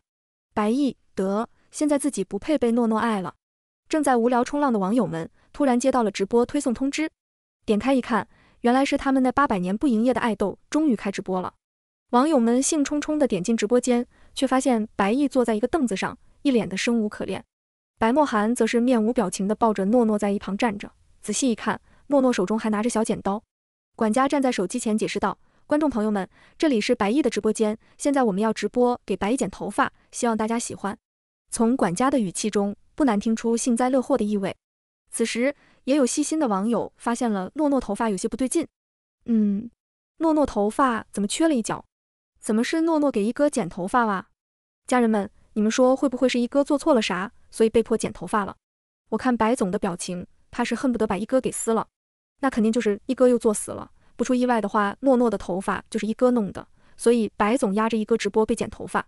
大家猜猜看，一哥的头发会变成什么样子？我盲猜是锅盖头，我觉得是朵拉头，我觉得是光头。楼上的你是真敢猜呀？我猜是地中海，你也不逞多让吗？随着网友们的热情高涨，诺诺也开始挥动了剪刀。第二百三十一章，爱探险的朵拉。随着剪刀的挥动，白毅的碎发齐刷刷的落下。我去，这大胆的手法！完了，我感觉一哥要变成锅盖了。你别说，诺诺手还挺稳的，一点也不带抖的，还真是剪得好平整啊。等诺诺停下手中的动作后，管家将镜头移到了白毅面前，直接给白毅的新发型来了一个特写。一哥这头发好丑啊，微分碎盖变成锅盖了，救命！这个朵拉一样的发型，得亏我们一哥颜值能打，否则是真的要掉粉了。虽然，但是这个发型依旧显得我们一哥有点丑。那没办法。谁让我们一哥得罪白总了呢？作为一哥的老粉，我只想嘲笑一哥活该。前面的我也是，你们都多损呐！哈哈哈哈哈。原本一堆人嘲笑白毅就已经让白毅很难受了，没想到还有人看热闹不嫌事大，把白毅的朵拉发型截图做成了表情包。这下好了，白毅是真的绷不住了，于是他决定在自己头发长出来之前，他都不出门了。而诺诺的发型最终被专业造型师挽救了回来，又变成了那个可爱的小包子。井号顶流男爱豆直播变朵拉，井号一条热搜突然冲出，引起了网友们的关注。点进帖子一看，原来是白衣直播被剪头发了，哈哈哈哈，笑死我了！在现场，一哥头发真的像朵拉。白衣，大家好，我是爱探险的朵拉。这个贴主多损呐，还附带了一哥的朵拉表情包。白衣律师函，律师，好的，朵拉。白衣，很好，现在你也是被告了。这届网友太有才了。汗流浃背了吧，一哥，一个人躲在家里不敢出门了吧？啊，不是，这发型是真的丑啊，受不了了，脱粉了。短短几个小时过去，白毅一看粉丝数量，好家伙，降低了两万多。虽然他并不在意粉丝量，但是他现在的发型是真的丑啊。网上的事情自然也是很快就被经纪人给发现了。不出意外的，经纪人的电话打了过来。经纪人，一哥，你怎么回事啊？白毅撇了撇嘴，还能怎么回事？被我三叔制裁了呗。经纪人到嘴边的话一梗，行吧，既然是白总发话了，那他也没办法。我这刚给你接了几个代言，一哥你抽空来拍一下。白毅，不行啊，我这发型太丑了，可以戴假发的一哥。白毅叹息一声，他也想戴假发呀，但是三叔不允许呀。但是三叔找人盯着我的，只要我出门就必须顶着这个朵拉头，否则我就死定了。经纪人，那算了，我给品牌方说一下，推迟几天，你等白总气消了再出来吧。嗯。白毅声音闷闷的，有些无奈，也只能如此了，不然让他顶着这个朵拉头出门是绝对不可能的。挂断电话后，手机上方弹出诺诺的直播提醒，白毅突然灵机一动，想到了解决方法。他这两天先在家陪着诺诺玩，等过两天他去装可怜求求诺诺，只要诺诺一同意，三叔的话算个屁。嘿嘿，他可真聪明。另一边，诺诺顶着自己新出炉的发型打开了直播。哇塞，诺诺的新发型好可爱呀！像个圆滚滚的小包子，好想咬一口。第二百三十二章幸运儿。诺诺嘿嘿一笑，害羞的低下了头。今天还抽幸运儿吗？网友们把被诺诺抽中的有缘人称之为幸运儿。诺诺要的呀。说着，诺诺投放了一个抽奖。诺诺今天算过了，有一个特别难搞的有缘人会出现。如果他不去解决的话，恐怕会出大问题呢。哎嘿，前排看戏，希望今天不要遇到什么特别可怕的东西。我已经无所谓了。现在我心如磐石，基本没什么东西能伤害到我。真的吗？那如果厉鬼出现在你面前呢？前面的假设的很好，下次不要假设了。这孩子打小就会说话，哈哈哈哈！多损啊！在网友们的一句句讨论中，今天的第一位幸运儿诞生了。当诺诺念出幸运儿的网名时，对方并没有做出任何回应。啊？怎么回事？这个游戏人生，你说话呀！不会是睡着了吧？不会是不想送礼物吧？不会是觉得诺诺不靠谱吧？我们诺诺很厉害的，一个嘉年华买不了吃亏，买不了上当。就是就是，诺诺，朱叔叔，再过一会儿丽丽姐姐就要去找你了哟。屏幕前的男人听到这句话后，心头一震。他今天喝了酒，本来想玩会手机就睡觉的，没想到莫名其妙的点进了这个直播间，并且那个什么抽奖，他根本没有去参与，最后出现的却是他的网名，这让他感觉这个直播间处处都透露着奇怪。但是这小孩的话，却让他不得不正视这个小孩。于是乎，男人一咬牙，充值了一千块钱，刷了嘉年华，随后又点击了连线。连线接通后，屏幕中出现了一个戴着口罩的男人，男人似乎不愿意露脸，仅剩一双眼睛注视着诺诺。男人压低声音道：“你说的丽丽是怎么回事？你认识她？我靠，这大叔怎么给人一种做贼心虚的感觉？他不会是犯了点什么事儿吧？不对劲，十分有十二分的不对劲。”诺诺真诚地摇了摇头：“诺诺不认识他呀。”男人皱眉：“那你怎么知道丽丽的？”诺诺：“因为诺诺算出来了呀，丽丽姐姐和她的小宝宝马上就要去找你啦。”此话一出，男人顿时眼中闪过一抹惊恐：“诺诺，鼠鼠，去自首吧。”这样丽丽姐姐就不会伤害你了。男人心中咯噔一下，莫非这小孩知道了什么？但是不可能啊，他明明做的很隐蔽呀。男人故作淡定道：“什么自首？你在胡说什么？”诺诺，鼠鼠，丽丽姐姐很生气，如果你不去自首的话，丽丽姐姐会把你撕碎吃掉的。男人身体猛地后退，随即快速关掉了手机。他才不信一个小屁孩胡扯呢。只是他并没有发现弹幕此时说的话。卧槽，这啥呀？以我看这么久直播的经验来看。这男的肯定杀了那个丽丽，然后那个丽丽变成厉鬼索命来了。但是很明显，这男的不相信诺诺说的话，有凶杀案。潜水的快出来干活了！屏幕前负责观看诺诺直播的民警眉头一挑，早在几分钟前，他们就接到诺诺的消息出警了，并且刑警队也出动了。毕竟这种案子还是归刑警管的。另一边，诺诺正在捣鼓着什么东西。第二百三十三章变故突生。不一会儿，诺诺便大功告成。网友们定睛一看，原本已经退出直播间的男人突然又出现在了屏幕上。但是看男人的样子，应该是不知情的。此时，男人嘴里不停念叨着什么，并且翻箱倒柜的寻找着东西。这怎么又有画面了？那当然是我们诺诺的功劳呗！啊，这男的是在干啥呀？我猜应该是在找有什么值钱的东西。我从侧面看他嘴唇，他是在说，怎么就被发现了呢？不行，我必须赶紧跑！他要跑了！警察叔叔，快冲啊！江城民警，大家放心，嫌疑犯跑不掉的。我就说我们警察叔叔在直播间潜水吧。前面的知道就好，别说出来。好嘞。又过了一会儿，男人果然从箱子里找出了一个首饰盒，盒子里面基本全是金的首饰。男人心满意足的笑了，随手拿起一个背包，将首饰盒扔了进去。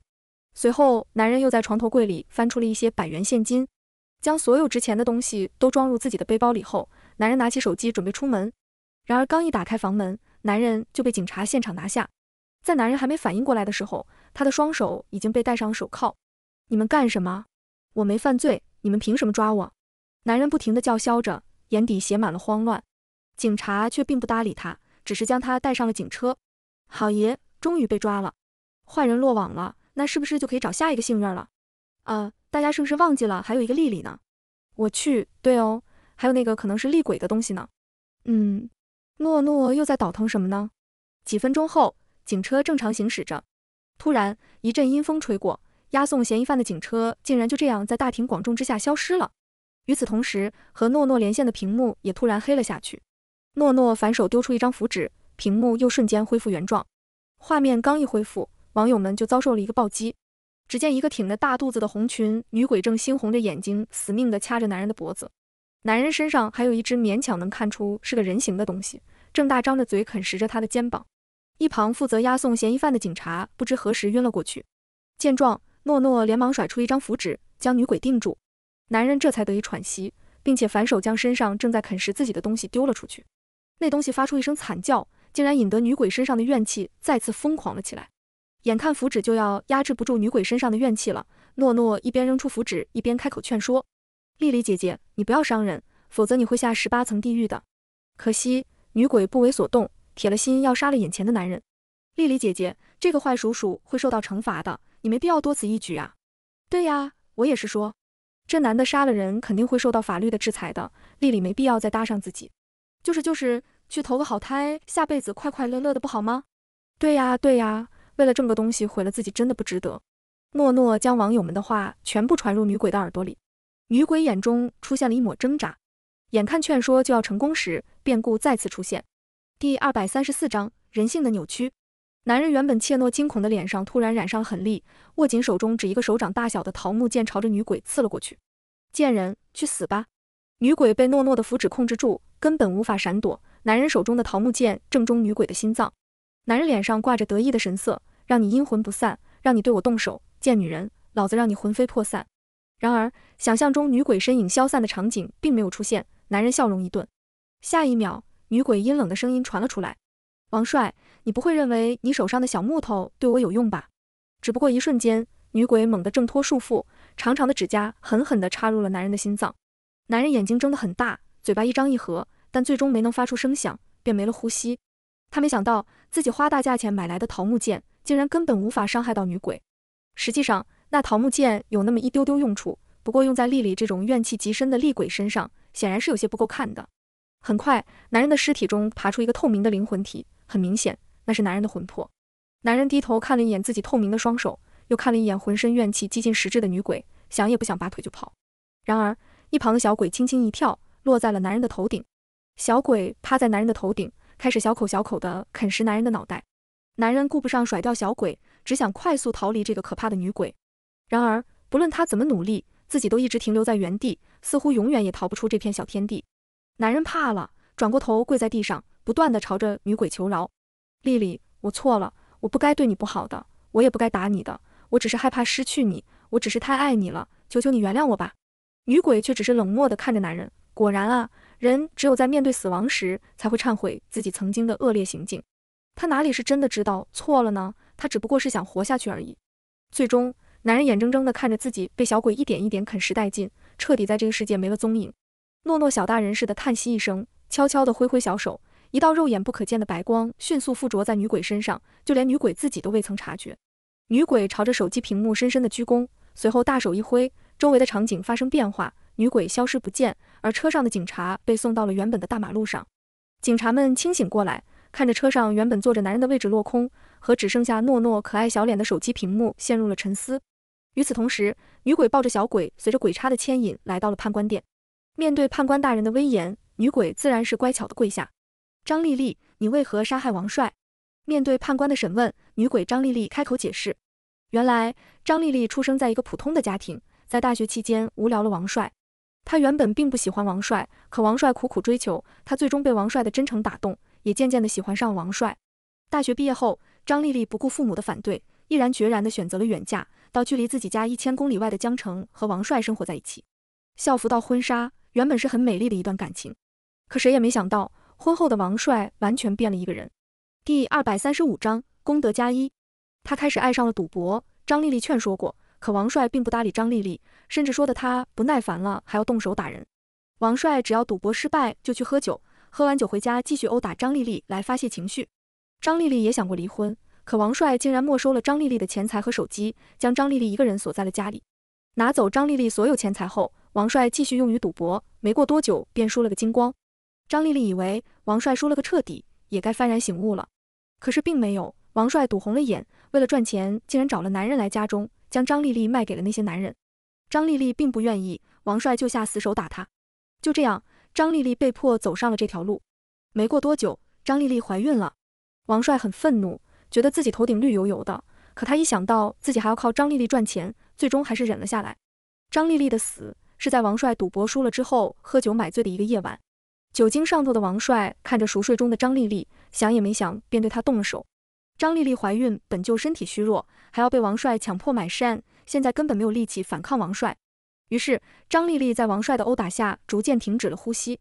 等王帅清醒过来，发现张丽丽死了之后，找来了一个铁箱，将张丽丽装了进去，沉入了河底。然而尸体发生膨胀，铁箱浮出水面，张丽丽那已经足月的孩子还是出现在了铁箱之中。红衣、铁箱、私生子。这些东西本就助长怨气，更何况张丽丽死前本就怨气滔天。于是张丽丽一心想要报复，这才找到了王帅。判官听完后深感同情，但是所有鬼魂都归地府管理，就算是张丽丽和王帅有仇，也不能放任他的孩子吃掉王帅的魂魄。判官刚想开口宣布判决，却突然瞥见张丽丽身上有一个白色的小光团亮了一下。判官话到嘴边，又临时改口：“张丽丽所作所为有情可原，判其在地府劳作二十年后转世投胎。”张丽丽一听，明显愣住了。她知道的，自己杀王帅的行为，就算是不落个下十八层地狱，也是要接受巨大处罚的。可没想到，最终的判决竟然如此轻松。忽然，张丽丽脑海中划过一张可爱的小脸。张丽丽瞬间明了，也发自内心的笑了。她连忙磕头，接受了这样的处罚。至于她那可怜的孩子，则是直接被鬼差送去投胎去了。当天夜里，王帅的尸体出现在了无人踏足的深山之中。不远处的狼群似乎发现了尸体，绿色的瞳孔映射出寒光。诺诺感受着体内源源不断涌入的功德力，舒适的眯起了眼睛。再努努力，就可以帮巴巴解除劫难了呢。诺诺小朋友好心情的想着。楼上的林清风看着诺诺软乎乎的小脸，低头发出一声浅笑。真好，诺诺已经可以独当一面了。等白总的事情解决以后，他也就是时候离开了。毕竟像他这种永远也不会死去的怪物，是不被允许出现的吧？第二百三十六章，不努力就只能继承家产了。几天后，在家闲得不行的白毅悄悄地找上了诺诺。推开房门，诺诺正专心致志地趴在他的专属儿童小书桌上写着什么。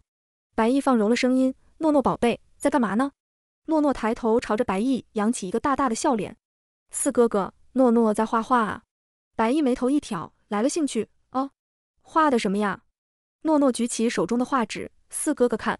白毅低头望去，只见画纸上已经用铅笔勾勒出了几个人形。只见画纸上最中间是一个一身西装、身姿笔挺的男人，怀中抱着一个笑容明媚的小女孩。男人身旁站着一身迷彩服的男人，另一侧的男人则是一身白大褂。再往右看，则是同样一身西装的白明礼，还有一身休闲装的白毅和双手插兜有些酷拽的白云野。而一身白大褂的白苏身旁，则是林然和林清风。再然后就是白毅亲爹亲妈，同样的白老爷子和苏婉也没有落下。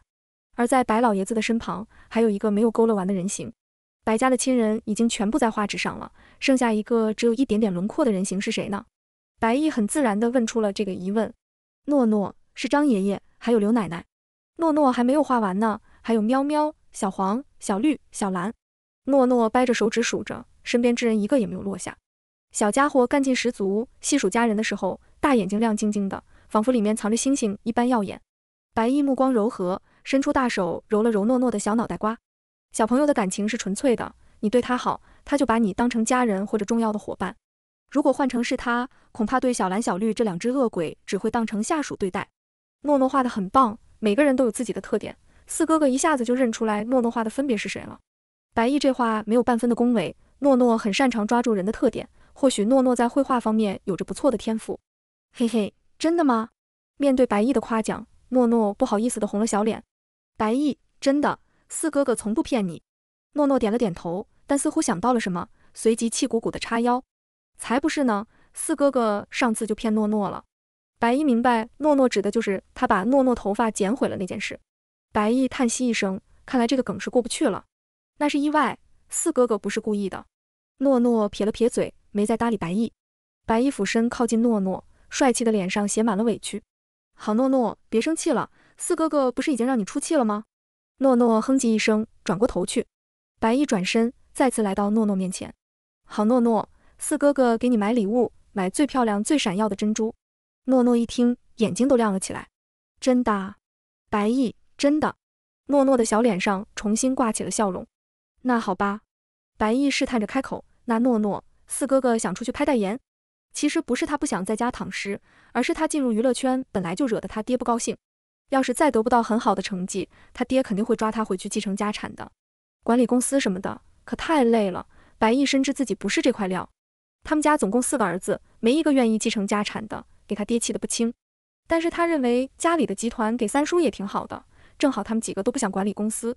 可惜他估计三叔不愿意接手白家的公司，估计到最后还是得让诺诺出面求情才行。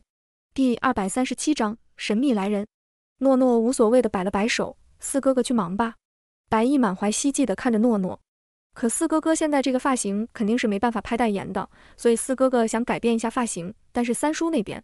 诺诺拍了拍自己的小胸脯，交给诺诺吧。白毅激动地抱着诺诺亲了好大一口。好嘞，四哥哥就知道诺诺最好了。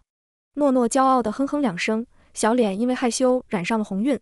与此同时，一道黑影迅速钻入白墨寒所在的书房内。深夜无人问津的深山之中，一团黑雾陡然出现。谁？黑袍男子本能地对这悄无声息出现的黑雾升起一股恐惧感。叶明，一道阴冷的男声传出。明明轻飘飘的两个字，却让黑袍男子双腿一软，结结实实地跪在了地上。黑袍男子低下头，咬紧牙关，克制住心中的恐惧。怎么会呢？这种大人物怎么会突然出现在这里？难道是发现了他的身份，特地来赶尽杀绝的？不，他不能死，哪怕是苟延残喘的活下去，他也不能就这样死掉。打定主意，黑袍男子缓慢地抬起头，却在下一秒听见了一声冷笑。一个贪生怕死的逃兵，竟然也能在这方小世界中兴风作浪。黑袍男子动作一顿，心中的恐惧感不断增长。完了，对方果然知道了他的身份。你说，我现在杀了你，或是把你扔去神界，你该是什么下场？扔去神界？不，当然不行。神界对待逃兵的惩罚可是非常残酷的，先是在逃兵身上定下七七四十九颗销魂钉，后将人扔去疾风崖思过百年。且不说这四十九颗销魂钉落下后，他还有没有活下去的可能性，就这常年有着能将人削成肉泥的疾风崖，都能直接要了他的命。想到这里，黑袍男子忍不住打了个寒战。黑袍男子跪着爬到黑雾跟前，哭着开口：“大人，大人救我！我不想死，我也不想回神界。”我可以放过你，甚至可以借给你一些力量，让你成为这方世界的主宰。声音漫不经心的，对黑袍男子来说却是带着致命的诱惑。黑袍男子心中一喜，当即朝着黑雾磕起了头。叶明，不过你必须帮我解决两个人。黑袍男子连忙回答：“为了大人，小的赴汤蹈火在所不辞。”呵，很好。随后，黑雾中似乎伸出一只手来，那大手轻轻一挥，一旁便凭空出现一面屏幕，屏幕中的两个人。竟然就是黑袍男子惦记已久的两人，这不就是瞌睡来了，有人送枕头？这下好了，能够获得滔天的气运，还能直接拥有统治这方世界的权利。巨大的惊喜冲昏了黑袍男子的头脑，他想也不想就应了下来，甚至没有思考过这叶明为何要让他去解决这两个人。叶明发出一抹满意的轻笑，随后大手一挥，将一部分力量注入了黑袍男子的体内。记住，解决他们，否则……说着，叶明冷哼一声，剩余的话不言而喻。黑袍男子连忙信誓旦旦地保证：“大人放心，三天后您再来的时候，看到的就是他们的尸体，最好如此。”留下这句话后，黑雾在空中消失。如果不是黑袍男子体内多出的力量，他真的会以为这一切都是在做梦。此时，另一片天地中，第二百三十八章来势汹汹。叶明皱着眉，咽下嘴里溢出的鲜血，随手抓起一旁的魔物，吸光了对方的功力，直到自己的呼吸平缓下来后，叶明这才停下了手中的动作。他本就身受重伤，强行在另一方小世界现身，更是消耗了他的功力。现在他把剩下为数不多的功力都给了那个逃兵，只为了孤注一掷。如果那个逃兵成功，他就可以再休养百年。百年之后，神界最重要的两个位置空缺，他就可以一举拿下神界。如果那个逃兵失败，他左右不过就是失去一些功力。他在给那个逃兵的功力中加了一些东西，能够保证自己绝对不会被出卖。想到这里，叶明嘴角勾起一抹嗜血的笑容。林渊、月影，你们可一定要早点死啊！一天后，黑袍男子满意的看着自己身体周围萦绕着的黑色气体，如今他已经将叶明给的功力全部融入了自己体内，是时候完成他和叶明的约定了。黑袍男子起身，轻轻的瞥了一眼洞穴四周的猛兽们，兽类天生对危险非常敏感，仅仅一眼，他们便明白眼前这个人类如今变得非常强大。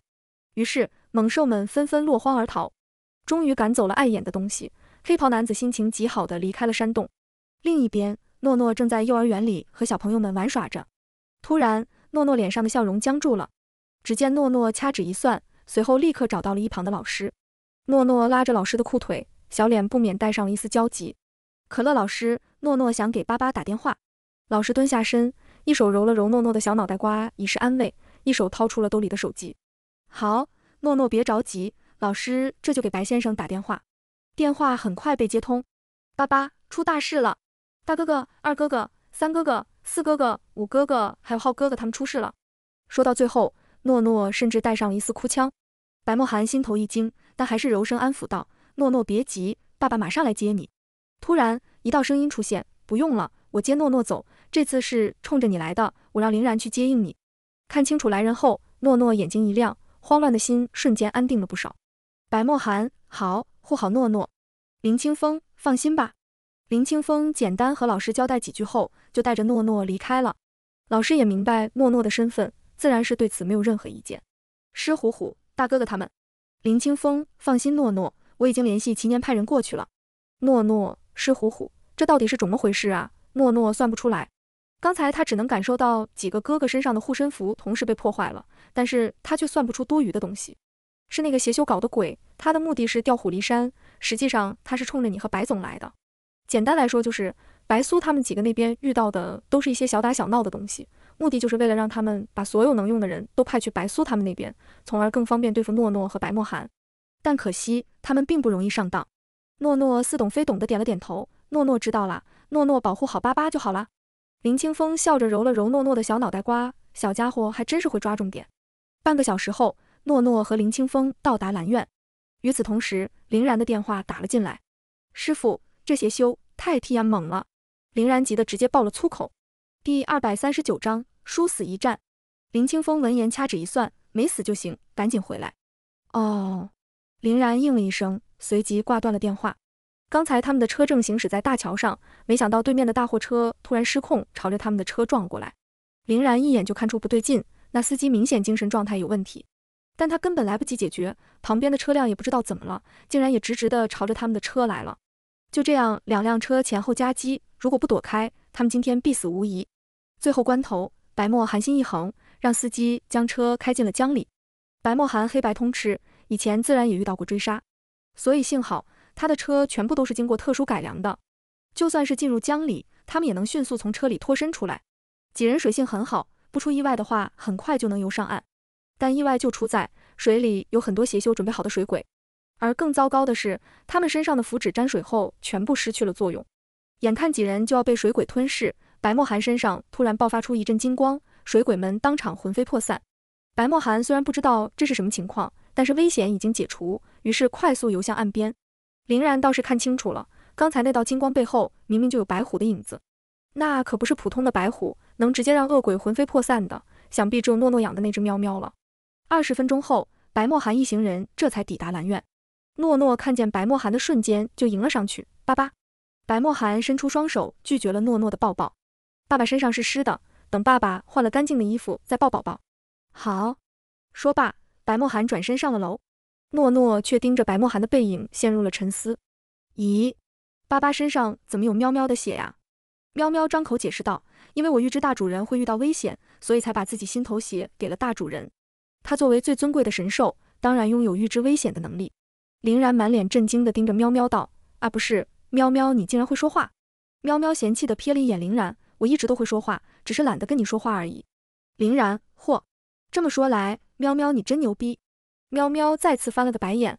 林然：“好吧，又被鄙视了。”林清风：“先去换身衣服吧，等会儿还有一场硬仗要打。”林然：“好。”不一会儿，白墨寒和林然都换好衣服下来了。那个邪修不知道怎么回事，突然实力大增，恐怕是要和我们不死不休。林清风脸色很是不好，以往他确实算到诺诺会有一劫，但没想到这一劫会这么大。喵喵，我前两天感觉到有一个不属于这个世界的东西来了这里，不属于这个世界的东西。林清风反复琢磨着这几个字。喵喵点了点头，是的，他知道那个东西是谁，但现在不是说出来的时候。林清风，那恐怕就是那个东西给了吗？邪修力量。否则那些修不可能突然之间变得如此强大。众人沉默着点了点头。林然，我们不能继续被动下去，依我看，不如主动出击，打他个措手不及。林清风，我看行。况且那些阴邪之物到了晚上会攻击大增，我们不能等到晚上，最好是趁现在就解决掉它。诺诺同意。诺诺软乎乎的小脸上也写满了严肃。林然，好，事不宜迟，我们现在就出发。第二百四十章，喵喵，傲娇且牛叉。通过商量。众人最终决定由林然、小黄、小红留下来保护白墨寒，诺诺、喵喵和林清风一起去云山。虽然白墨寒担心诺诺，很想跟着一起去，但是林然两句话就让白墨寒打消了念头。林然，白总您去帮不上忙，可能还会拖后腿。你要知道，邪修可是冲着你来的。白墨寒一听，虽然很心塞，但还是选择了沉默。想当初，他白墨寒也是在江城叱咤风云的人物，没想到到了自己闺女这里。反倒是成了拖后腿的存在。白墨寒心中叹息，颓废感油然而生。林然当然也察觉到白墨寒低落的情绪。于是开口劝说道：“白总，但是您有钱啊，诺诺想要什么您都可以实现，这妥妥的打败全国百分之九十九点九九的父亲啊！”白墨寒瞥了一眼林然，更颓废了。这林然不如不劝呢，他难道不知道诺诺现在除了直播外，其余的时间都是一挂难求吗？甚至有的世家为了求诺诺一挂，直接找到他开出了一个亿的价格。当然了，他直接帮诺诺拒绝了，然后反手在自己拿来专门给诺诺存钱的银行卡上赚了十个亿。诺诺现在的主要任务是学习，区区一个亿不要也罢。白财大气粗总裁丝毫不觉得自己的做法有任何问题。殊不知，现在外面世家圈内都认为诺诺一挂难求，人家连一个亿都看不上呢。诺诺本人对此根本一无所知。另一边，喵喵驮着诺诺和林清风直接飞上了高空。林清风一脸震惊：“不是。”喵喵，你会飞呀？喵喵，嗯，一直都会。林清风，但是你没有翅膀啊，你怎么飞起来的？喵喵，那你御剑飞行是怎么飞的？林清风恍然大悟，哦，也是，忘记这一茬了。不过，如果我没猜错，这方世界是有天道的吧？你这样飞行，不会被天道制裁吗？他敢？喵喵，轻飘飘的两个字，却威慑力十足。云层之上的某个白胡子老人直接双腿一软，差点跪了下来。他哪里敢啊？这可是白虎啊，四海八荒最好战的白虎啊！除了天帝和战神大人，根本没人打得过这白虎，更别说他就只是一个小世界的天道了。他要是和白虎打架，那肯定三七开。三分钟，白虎七分饱，不是他吹，他个子还是挺大的，七分饱肯定没问题。真是奇奇怪怪的傲娇点。有了喵喵的加持，几人不过半个小时就抵达了云山半山腰。至于为什么不直接上云山山顶，那是因为喵喵感受到那个邪修就在半山腰附近，距离上一次来云山，这里显然发生了巨大的变化。云山整座山都被阴邪的气息笼罩着，越靠近半山腰的地方，那股气息也就越浓烈。上一次来云山时还能看见一些小动物，这次来的时候，别说小动物了，就连小鸟都不敢出现了。林清风皱起眉头，这些阴邪的气息中带上了死气，看来这邪修士打算屠山。第二百四十一章破阵。哼，胃口还真是不小。林清风环顾四周，很快就发现了死气萦绕的真相。诺诺，知道这死阵怎么破解吗？诺诺知道，狮虎虎以前教过诺诺哒。林清风欣慰地揉了揉诺诺的小脑袋瓜。很好，我们现在先破了这死阵，不然这山上的小动物们恐怕撑不住了。诺诺，嗯，一般阵法通常是东南西北四处阵脚加一处阵眼形成，而死阵不同。制成死阵需要消耗大量功力，并且一不留神就会被阵法反噬。但是阵法一旦成型，这阵法中的所有活物都会被慢慢的吸干生机，从而将所有生机集中到阵眼上去。同时，死阵有八个阵脚，如果林清风没猜错的话，阵眼是在那个邪修身上。不过时间紧迫，几人需要破坏八个地方的阵脚。一番商量后，几人决定兵分两路。喵喵负责东南方向的四处阵脚，林清风和诺诺负责西北方向的四处阵脚。一路上偶尔会路过一些小动物的洞穴，看着小动物们无精打采趴着的模样，诺诺就恨不得立刻打死那个大坏蛋。很快，两人一同抵达云山西面。林清风环视四周，发现并没有适合藏匿阵脚的地方，而诺诺却盯着面前地上的落叶出了神。诺诺扯了扯林清风的衣角，指着面前的落叶道：“狮虎虎，这里好奇怪哦。”林清风呢喃道。这落叶看起来很普通，但是总给人一种怪异的感觉。说着，林清风从背后抽出桃木剑，刺向地上的落叶。很遗憾，落叶并没有反应。诺诺，咦，怎么没反应呢？本以为林清风会就此放弃，没想到下一秒，一道带火的符纸飞向落叶。落叶被燃烧的一瞬间，竟然发出一道刺耳的惨叫声，伴随着一缕黑烟飘散，原本的阵脚也出现在两人眼前。林清风毫不犹豫地破坏了阵脚。阵脚被破坏后，云山上萦绕的死气都减少了许多。剩下的三处阵脚，两人也遇到了类似的情况。很快，两人解决了剩下的阵脚，回到了和喵喵约定碰面的地方。而另一边，喵喵的解决方式就非常简单粗暴了。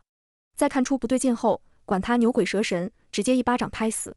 所以，两人一虎几乎同一时间回到了约定碰面的地方。八个阵脚都解决完了，那么接下来就该解决剩下的阵眼了。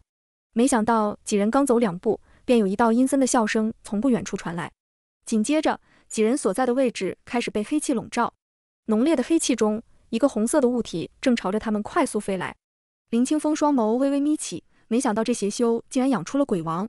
几人当然不会坐以待毙。林清风和诺诺手上的符纸不要钱似的疯狂扔出，喵喵更是一声呼啸，将周围的黑气都震得消散了不少。然而可怕的是，诺诺和林清风扔出去的符纸竟然没有半分反应。雕虫小技！一声冷笑过后，一名黑袍男子中午出现在众人眼前。喵喵眸色一沉，眼中闪过杀意。果然，第二百四十二章大结局上，动手！黑袍男人一声令下，周围瞬间出现无数厉鬼，将几人团团围住。哼，这下我看你们怎么逃！黑袍男子眼中闪过一抹志在必得，仿佛已经联想到了自己掌控这方世界的模样。看着黑袍男子得意的模样，林清风后槽牙都快咬碎了。诺诺，摇人！诺诺快速反应过来林清风的意思，于是将自己的小骨笛放在嘴边轻轻吹响。黑袍男子看着诺诺的行为，眼中闪过一抹不屑。就算是你们找再多人过来，也抵不过我手中的三百厉鬼，更何况在场还有一只鬼王呢。然而下一秒，黑袍男子嘴角的笑容当场僵硬。只见诺诺身旁突然出现一个黑色大洞，洞中似乎有人走出，那人只是出现一个衣角，就让周围蠢蠢欲动的厉鬼全部退到了三米开外。而那只鬼王更是直接绕过黑袍男子，朝着男子的洞穴飞了回去。怎么回事？给我滚回来！黑袍男子看着鬼王离开的背影，气急败坏的大吼。然而他的命令在这一刻却不管用了。鬼王听见他的话后，根本没有一丝一毫的停顿。黑袍男子眸色一沉，随后晃动起了手中的铃铛。铃声响起的瞬间，鬼王停下了动作，转而快速回到了黑袍男子身旁。虽然鬼王对男子格外听话，但看鬼王的表情，很明显是不情愿的。不过他的身体却不受控制，而与此同时，诺诺瑶的人也完完整整的出现在了众人眼前。阎王叔叔看见来人，诺诺甜甜出声。阎王声音柔和道：“小祖宗遇到麻烦了。”诺诺气呼呼的一手叉腰，一手指着黑袍男子控诉道：“嗯嗯，这个坏人想害巴巴，太讨厌了。”阎王这才抬眸打量起了黑袍男子，然而仅仅一眼，黑袍男子心中便泛起冷意，那是一种来自强者的威压。他明白，眼前这个被称之为阎王的男人是他惹不起的存在，竟然和魔王勾搭在了一起，怪不得能短时间内制造出鬼王。阎王眉头一挑，声音中夹杂着一丝意外。与此同时，阎王大人大手一挥，周围便出现无数鬼叉，那些鬼叉动作迅速的将四散而逃的厉鬼们抓了起来。黑袍男子明白自己失败了，然而他刚想逃跑，却发现自己根本无法动弹。原来诺诺刚才已经悄悄地将定身符丢在了黑袍男子身上。只不过刚才黑袍男子注意力都在阎王身上，再加上他对诺诺的轻敌，认为一个小朋友根本不会对他造成什么伤害，所以他并没有注意到那个小小的符纸。你竟然！黑袍男子满脸不可置信地看着诺诺，诺诺则是骄傲地仰着小脑袋瓜，发出一声轻哼。这时，喵喵走上前，直视着诺诺的双眼，那双眼睛似乎有什么神奇的魔力，将诺诺看得灵魂一颤。主人，喵喵的声音带着从未有过的低沉。而诺诺周身的气息也在此时发生了翻天覆地的变化。当诺诺再次睁眼之时，眼中的冷漠似乎能让人坠入深渊。第二百四十三章大结局下，喵喵立刻匍匐在地，就连一旁的阎王也朝着诺诺微微俯身，做出恭敬的模样。恭迎主人。诺诺微微颔首，嗯，起来吧。喵喵瞥了一眼动弹不得的邪修，道：“主人，这个叛徒怎么处理？”诺诺转身看向一旁的阎王，道：“阎王老头，你看他像什么东西？”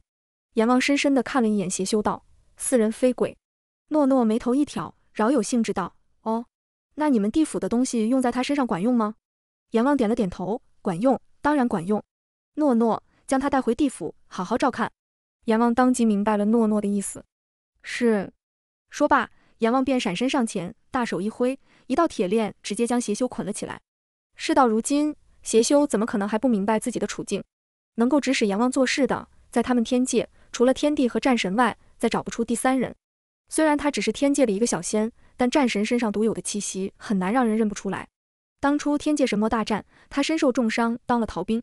但天界对待逃兵惩罚是很严重的，所以为了不受惩罚，他干脆一不做二不休，自己剃了仙骨，逃到了下界。俗话说，瘦死的骆驼比马大。他就算是没了仙骨，在这小世界中，必然也是可以呼风唤雨的存在。没想到战神大人竟然会来到这方小世界。怪不得魔王大人会突然和他合作，原来是要借他之手除掉战神大人。想到这里，邪修突然想开口，也许把魔王的消息告诉战神大人，可以将功折罪。然而他心中刚出现这个想法，浑身的骨头就如同被生生折断一样，疼得他说不出话来。很明显，这是魔王的手笔。在场的人自然也是注意到了邪修的异样，不过看诺诺并没有反应，阎王也没说什么。那小祖宗，我先走了。诺诺，嗯。随后，阎王拎着邪修离开了。喵喵，主人，那个叛徒身上有魔王的气息。诺诺，嗯，我刚才感觉到了。那主人，魔王那边怎么处理？诺诺，你去通知青羽送叶明一份大礼。喵喵，是。青羽是天界的上神，对待身受重伤的魔王，虽然不至于直接弄死，但是至少能让他百年内再也无法动弹，这就足够了。等百年后，天帝和战神回归天界，到那时再新仇旧恨一起算。喵喵回应完后，也化作一道流光消失在原地，而诺诺则是双眼一闭，小腿一软，倒在了林清风怀里。